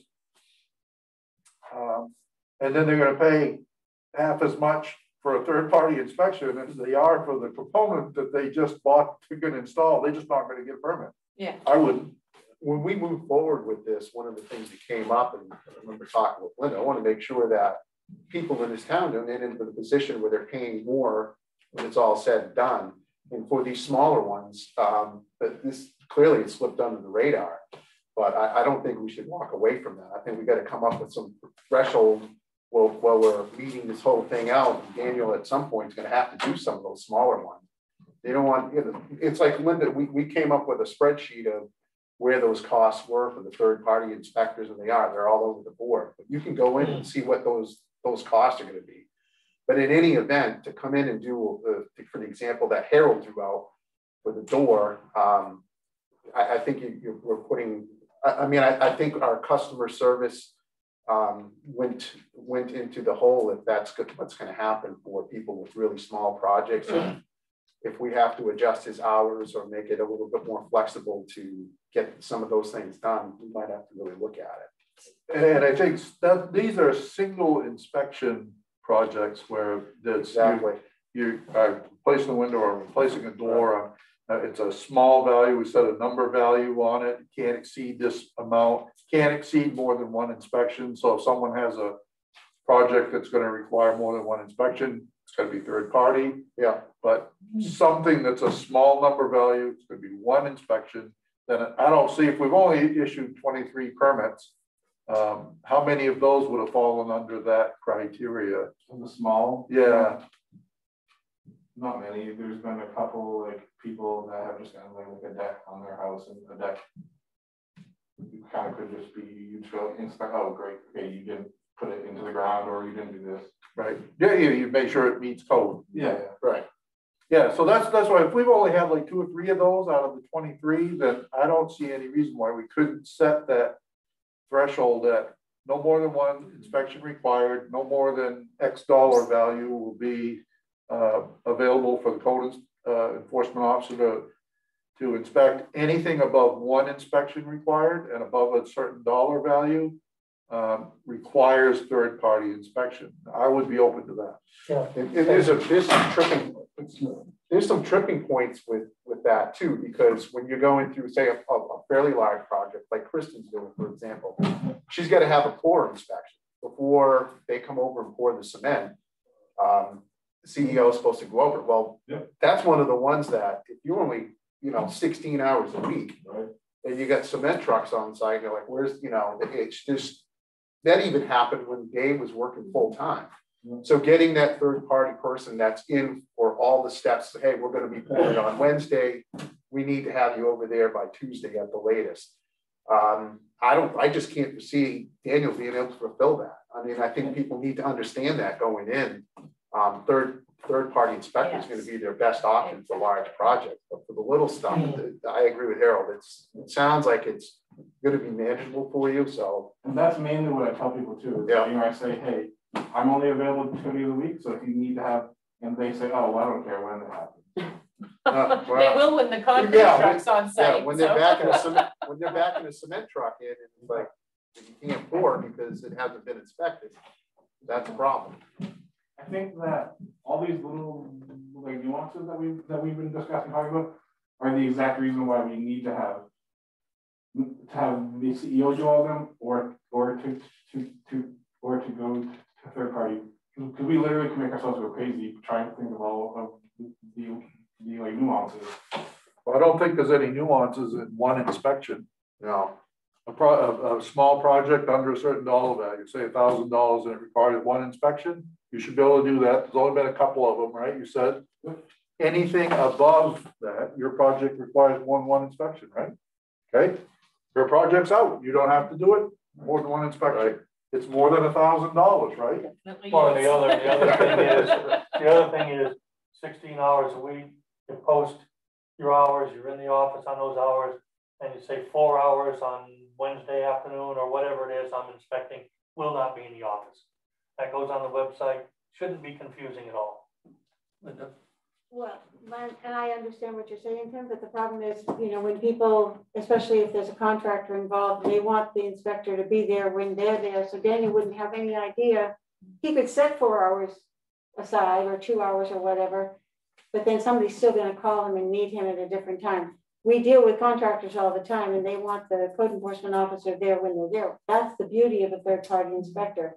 But the other thing I just want to reinforce, that he's not just a building inspector. He is also the code enforcement officer, and we have people calling us on a regular basis complaining about violations of the code. Um, people who have, you know, either built buildings too close or put fences up that are unsightly, or it's a junkyard across from my house. So those are things that he, he does have to go out and inspect those things, so that's more time out of the office. And I think with the new code enforcement officer, you're, there's gonna be more of those anyway, people are oh, you know, new guy now, we can try to see, point now. I still, so, given the fact that we just, just heard that there's only a couple of those small projects, I still don't see why we can't uh, uh, avail our residents of a very low cost, very easy option for a single inspection project under a thousand dollars.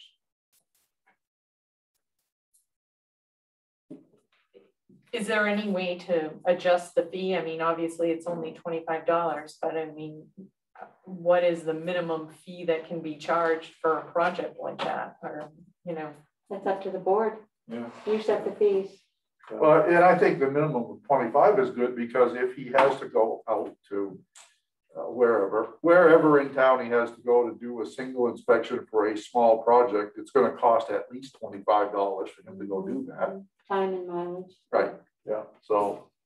uh, And if we, if we go this route with the, the cap, can we have a revisit in a few months to see how it's worked out? I I mean, would we're coming into, that. I Oh, I think think that we need to yeah. come back and revisit it to see how it's working for Daniel Yep. and how it's working for people and then see In if town, yeah. there needs to be an adjustment um to that. So Right, one because we're visit- also coming into a busier time here Absolutely. where people are Yeah. gonna be doing a lot more, but I think that we need need to make it crystal clear that I there's a think- cap. And, and I think we gotta, and I, I agree with Harold's threshold, but I don't know if a thousand dollars is enough because a sheet of OSB is usually like four bucks and it's $35. Oh, yeah.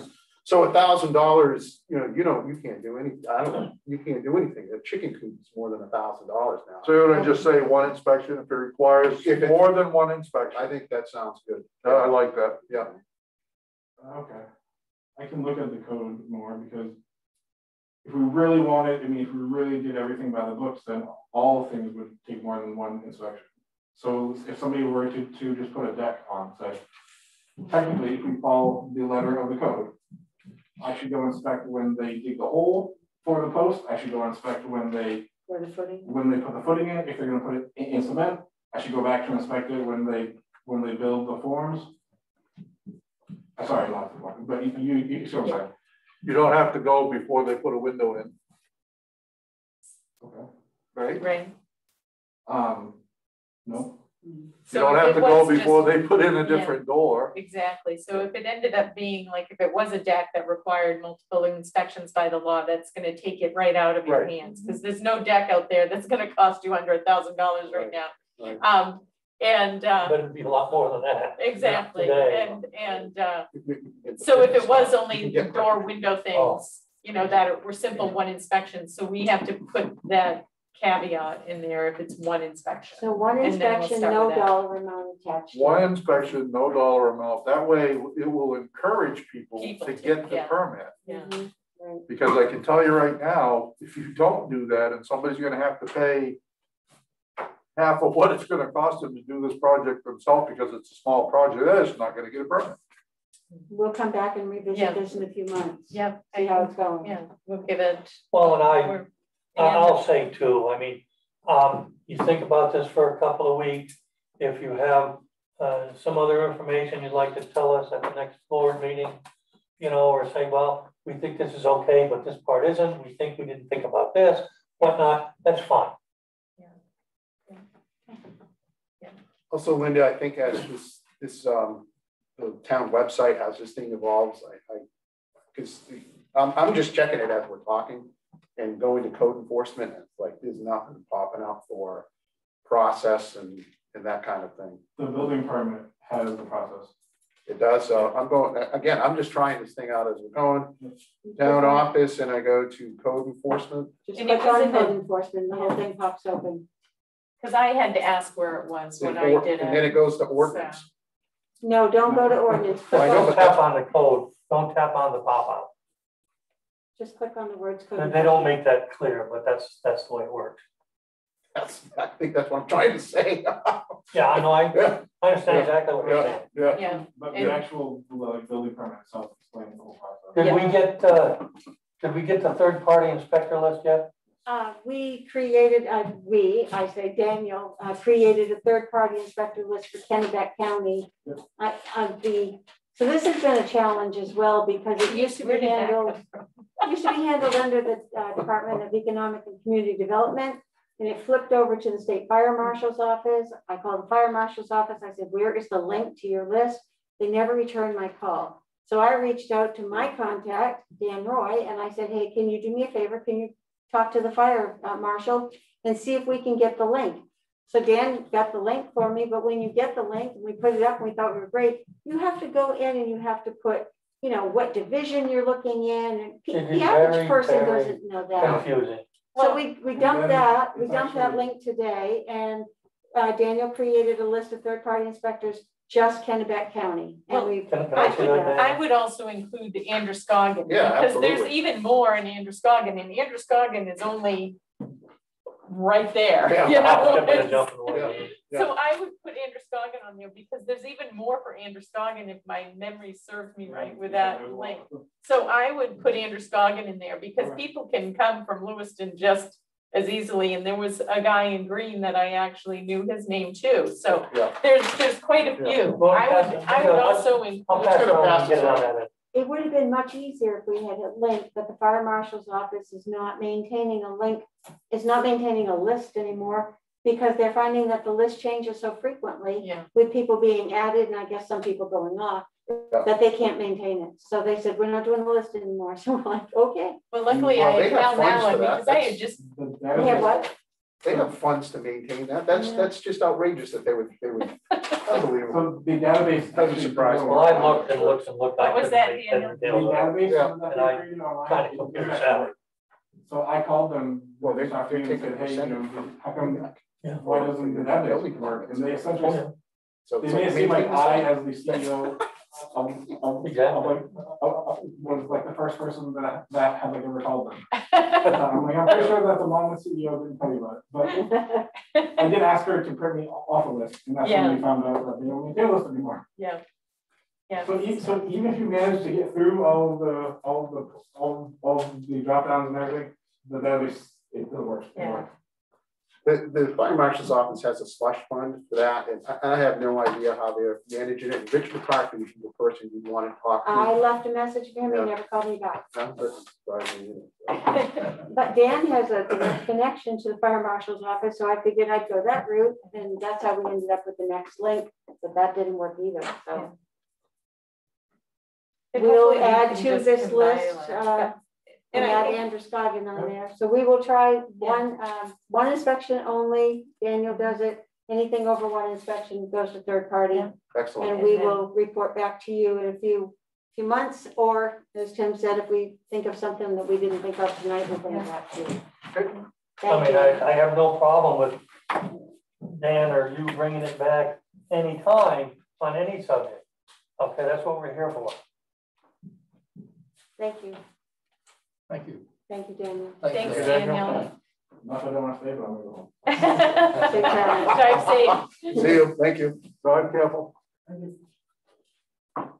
Uh, Next is the RSU two budget impact on Monmouth.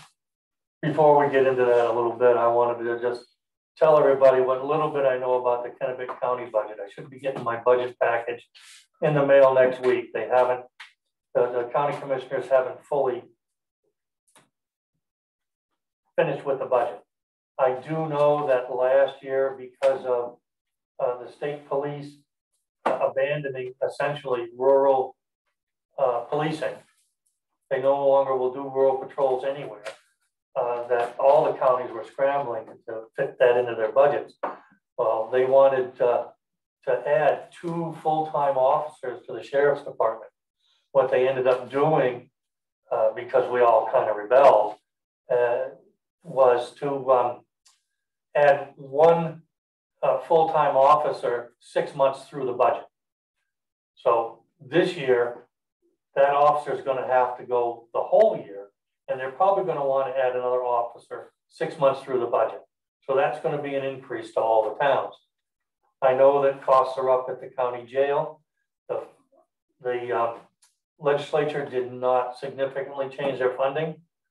And I know other uh, costs at the courthouse and other things will be up a little bit too. So I expect there to be uh, somewhat hefty increase in the uh, county budget, and a hefty increase for them, of course, is, you know, eight or nine percent, uh, reflects upon us about fifteen or twenty thousand dollars.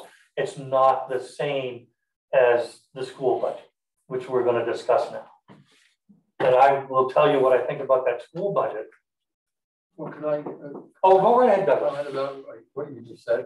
What, so what is the state police doing if they're not doing uh, rural patrol? I couldn't get a satisfactory answer out of that, because that doesn't, that doesn't come into the county budget anyway. Uh, you know, I mean, that, that's a state thing. And uh, I, I, the only thing that I think that they said, as I recall, was there's some pressure on personnel staffing.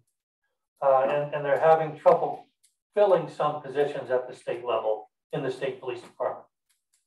But I think that was the only thing that was said by the, the, the sheriff's, uh, the sheriff when he came to explain it to us.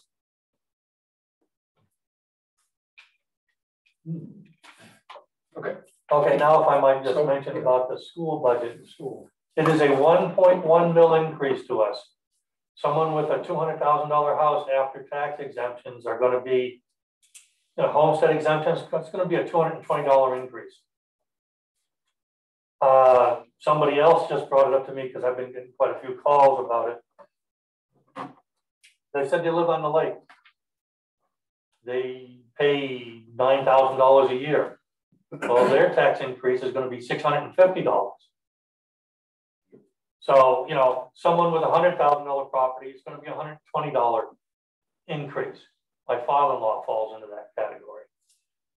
Uh, and he's on a fixed income, he's over ninety. His social security is all he has. So my big concern, of course, and I brought those up, was how are we gonna fund our own things in the town? How are we gonna maintain roads? How are we gonna fix our equipment, keep our equipment? And of course, the, the board said, well, that's not their concern. And I understand that that's not their concern, I, but I think it's irresponsible for them to expect that we're gonna cut our budgets and not give the people of the town the services that they want to have to fund these huge increases. And I will also say that uh, a number of years ago, I think it was 2018, uh, I asked the town manager at that time to give me a, a breakdown of, for 10 years, of what the taxes increases were. What we paid the county each year, what we paid the school each year, and what the town's budget each year was. And in that 10-year period, the taxes on the average house went up about $1,000. Okay? $50, only $50 was from the town budget. The town was very responsible, still kept up, uh, you know, as best it could the roads, the equipment, the other things. All right. The county went up $150. Policing and the jail. So jail was the major driver at that time. School went up 800. $800 increase in your tax bill was from the school. My concern is we go up every year of one mil. Few years we're at 25 mills. That's pretty expensive for a small town that with a small downtown. I mean, I was recently in Maryland. My daughter bought a new house down there. We went down to visit my little granddaughter. She just turned one on Friday. And her house cost 429,000 because housing prices are a little higher down there. But they've got water, sewer, sidewalks, around the corners a brand new school, around the other corners a brand new fire station. They're five minutes from the mall, they're five minutes from the country, beautiful area, nice cul-de-sac, organized neighborhood. Her taxes are $6,000 a year. We've got a house uh, from a constituent who called me on the street on, on the other side of town. Brand new house, it's valued at $329,000 uh, after his exemptions. His taxes are $6,000 a year. Doesn't have sidewalks, doesn't have water, doesn't have sewer. He's miles from anything. I, I, I just think that we as a board need to say something about this.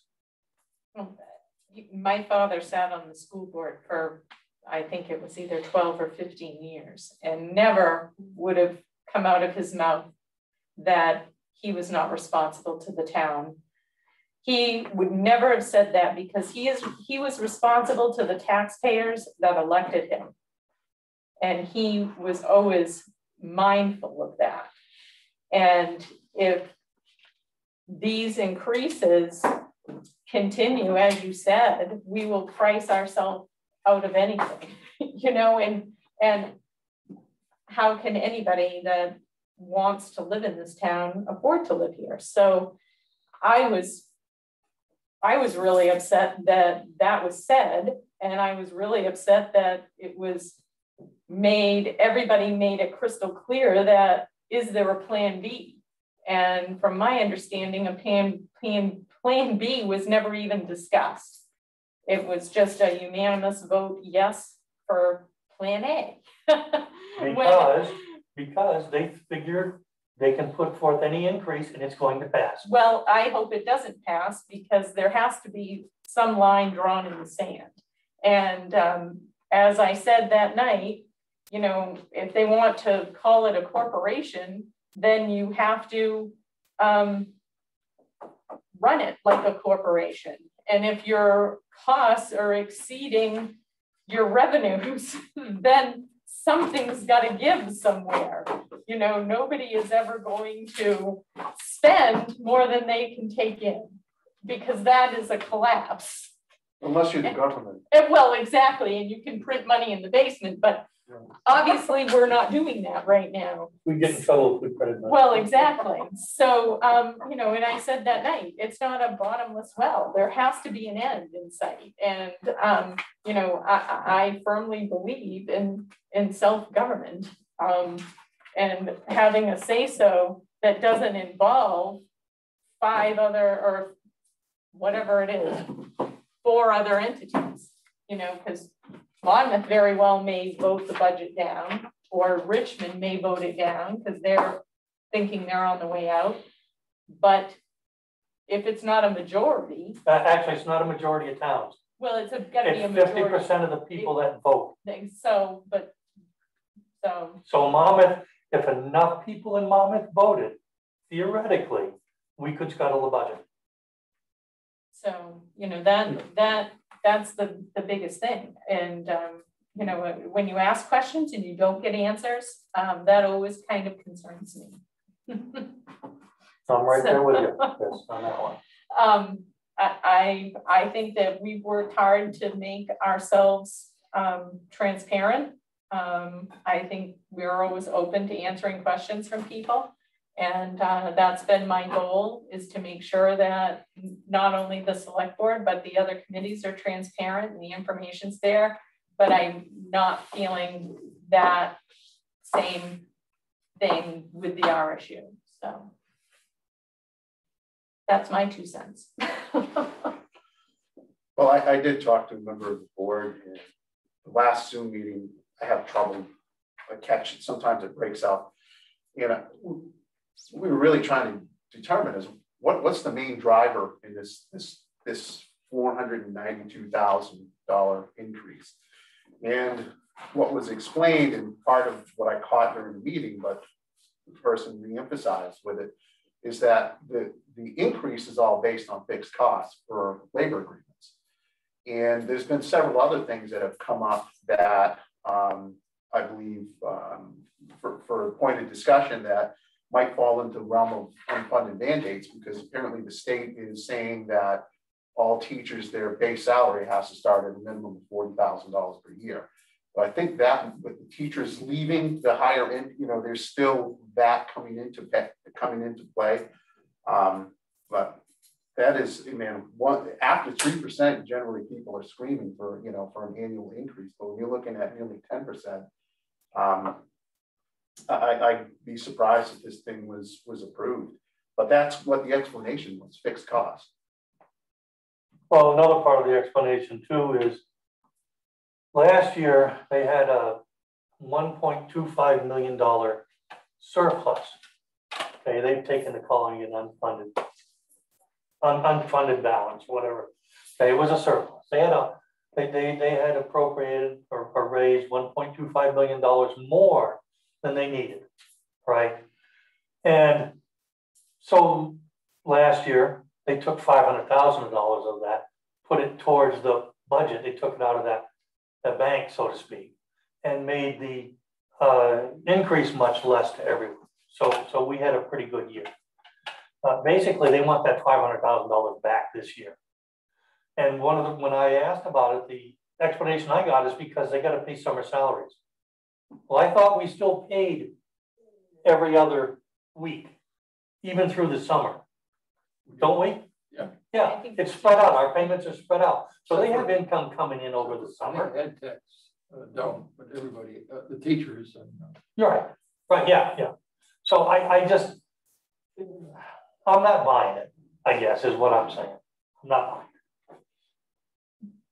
But, you know, when they talked about the uh, um, insurances not being able to change that, and there, if you've got a negotiated contract for health insurance, but it's, but beyond other, there's other insurances that you can negotiate and put out to bid, and that's facilities and, and um, vehicles and, you know, that type of thing, other types of insurance that are available out there that can put up to bid that you can look at and have, you know, because that was another one of the line items that was large, the percentage increase in, in insurances, but, you know, it's one thing for health if it's negotiated, but that can be looked at in future contracts, but you can also look at, you know, other types of insurances, but. Well, there was also mention made of, of the fact that, you know, those contracts are in place. and I think Harold had talked about reopeners and that kind of thing. So no, you can't do that. I have yet to see a union contract that does not have a force majeure clause in it that says you can't reopen this thing because of COVID, you know, and that's where we're at right now. Um, I don't think it's going to do anybody any good to start beating up on, on teachers, but um, that statement alone maybe got me thinking that you're not looking at what our options are in entirety. You're, you're making this claim and that claim is not accurate. Well, I don't think we, I don't think our intention should be to beat up on anybody. Exactly. I think our intention should be to look out, just as they, they stated their intentions, was to look out for the, the children in their budget. Well, our intention should be to look out for the citizens of Monmouth in our budget. And I think it would behoove this board to make a recommendation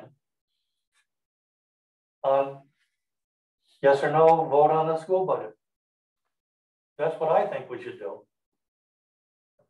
And as, as and as, as I don't know if everybody knows it on this board, but we cannot initiate a withdrawal. Okay, it has to be done by a separate committee uh, that is formed. And they have to research it and, and then bring the results back to us. Because we've been through this before one time. And when the voting happened, uh, it was actually about 64 or 5% that of the voters who voted who wanted to get out. Unfortunately, there's also a state threshold for the number of people that have to vote in that withdrawal. And we were 14 votes shy of that threshold, I think. Somewhere in that neighborhood. Might have been a little more, might have been a little less. I can't remember exactly. And if, if you have Richmond and Dresden that pull out of this thing, the, uh, the impact, I don't even know how to look at that. I think 10% would be a drop in the bucket if all of a sudden, you know, that, how that whole process. Yeah, I don't know, because uh, you, you'd also lose all the expense associated with it, so that, that would be, that would be one of those things that would have to be, they'd have to, That's, that's hard to, they'd yeah. have to look at it when it actually, if it actually faced with it, then they'd, they'd have to look at all the expenses they incur, all the, all the expenses. What would be left over, and then what that total expense would be and how it would get divided out over the, the three towns that would be left. Well, and, and that's a good point here, but, uh, I- and, and I just real quick, it's, it's like well, how the bonding structure is based. You know, if you've got five towns in that, and we just, you know, we built a school, aren't those five towns, are, are we all working in that Yes. part together? I don't understand that enough to, to really, The RSU bonded the, the money, so it's whatever's left of the R, as long as the RSU is in existence, they're responsible for that. Not the individual towns. And actually, that gets reimbursed by the state every year for a new school. Yeah. What doesn't get reimbursed is the bond that the RSU floated to do the improvement at the Richmond schools. That gets charged out across the RSU to each town, and that's in the budget there somewhere. but that The- the only other- out if true. The only other thing I'd just like to mention for everybody to keep in mind is that um, part of this issue is the fact that this, the state's uh, funding formula for education, I think is, has got some very serious flaws in it. One of them is that a large portion of the funding is based on a, a, a student uh, ratio.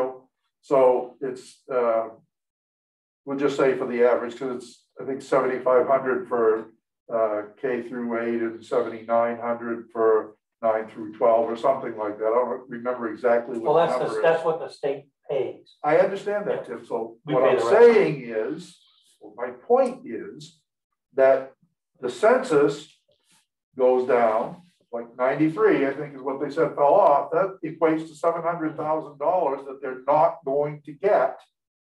They may get money elsewhere for other things, so that the total amount of funding from the state may be at the same level. It might even go up a little bit, but it would have been up even more if they hadn't lost the money from the, the student enrollment going down. So that doesn't, on the state side, that doesn't take into account the fixed expense that has to be, um, that isn't associated with a drop in student enrollment.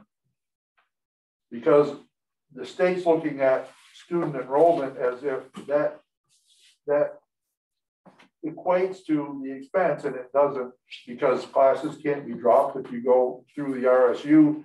If you go from uh, uh, a class size of 23 through the RSU to an average class size of, of uh, 19, doesn't mean you can drop a, a teacher, a position, or a class. So there are funding flaws in the formula that the state uses that we should be asking our representatives in the legislature to look at addressing. Exactly what you said was one of the um, points made to the discussion I had today was you have some classes in Dresden, they have nine, nine kids. Like, What do you do, get a half a teacher? Just doesn't work like that. So, Exactly, that's exactly right. yeah, there's a lot of dynamics that play with this thing. Um, But we're not gonna solve them tonight, Nope. so I move we adjourn. Second. All those in favor?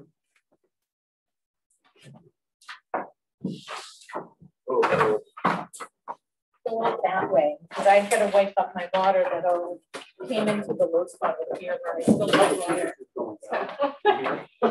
Yes, Dennis has the heat Yeah, finally, yeah. so it starts to cool off fast. This is a sweetheart.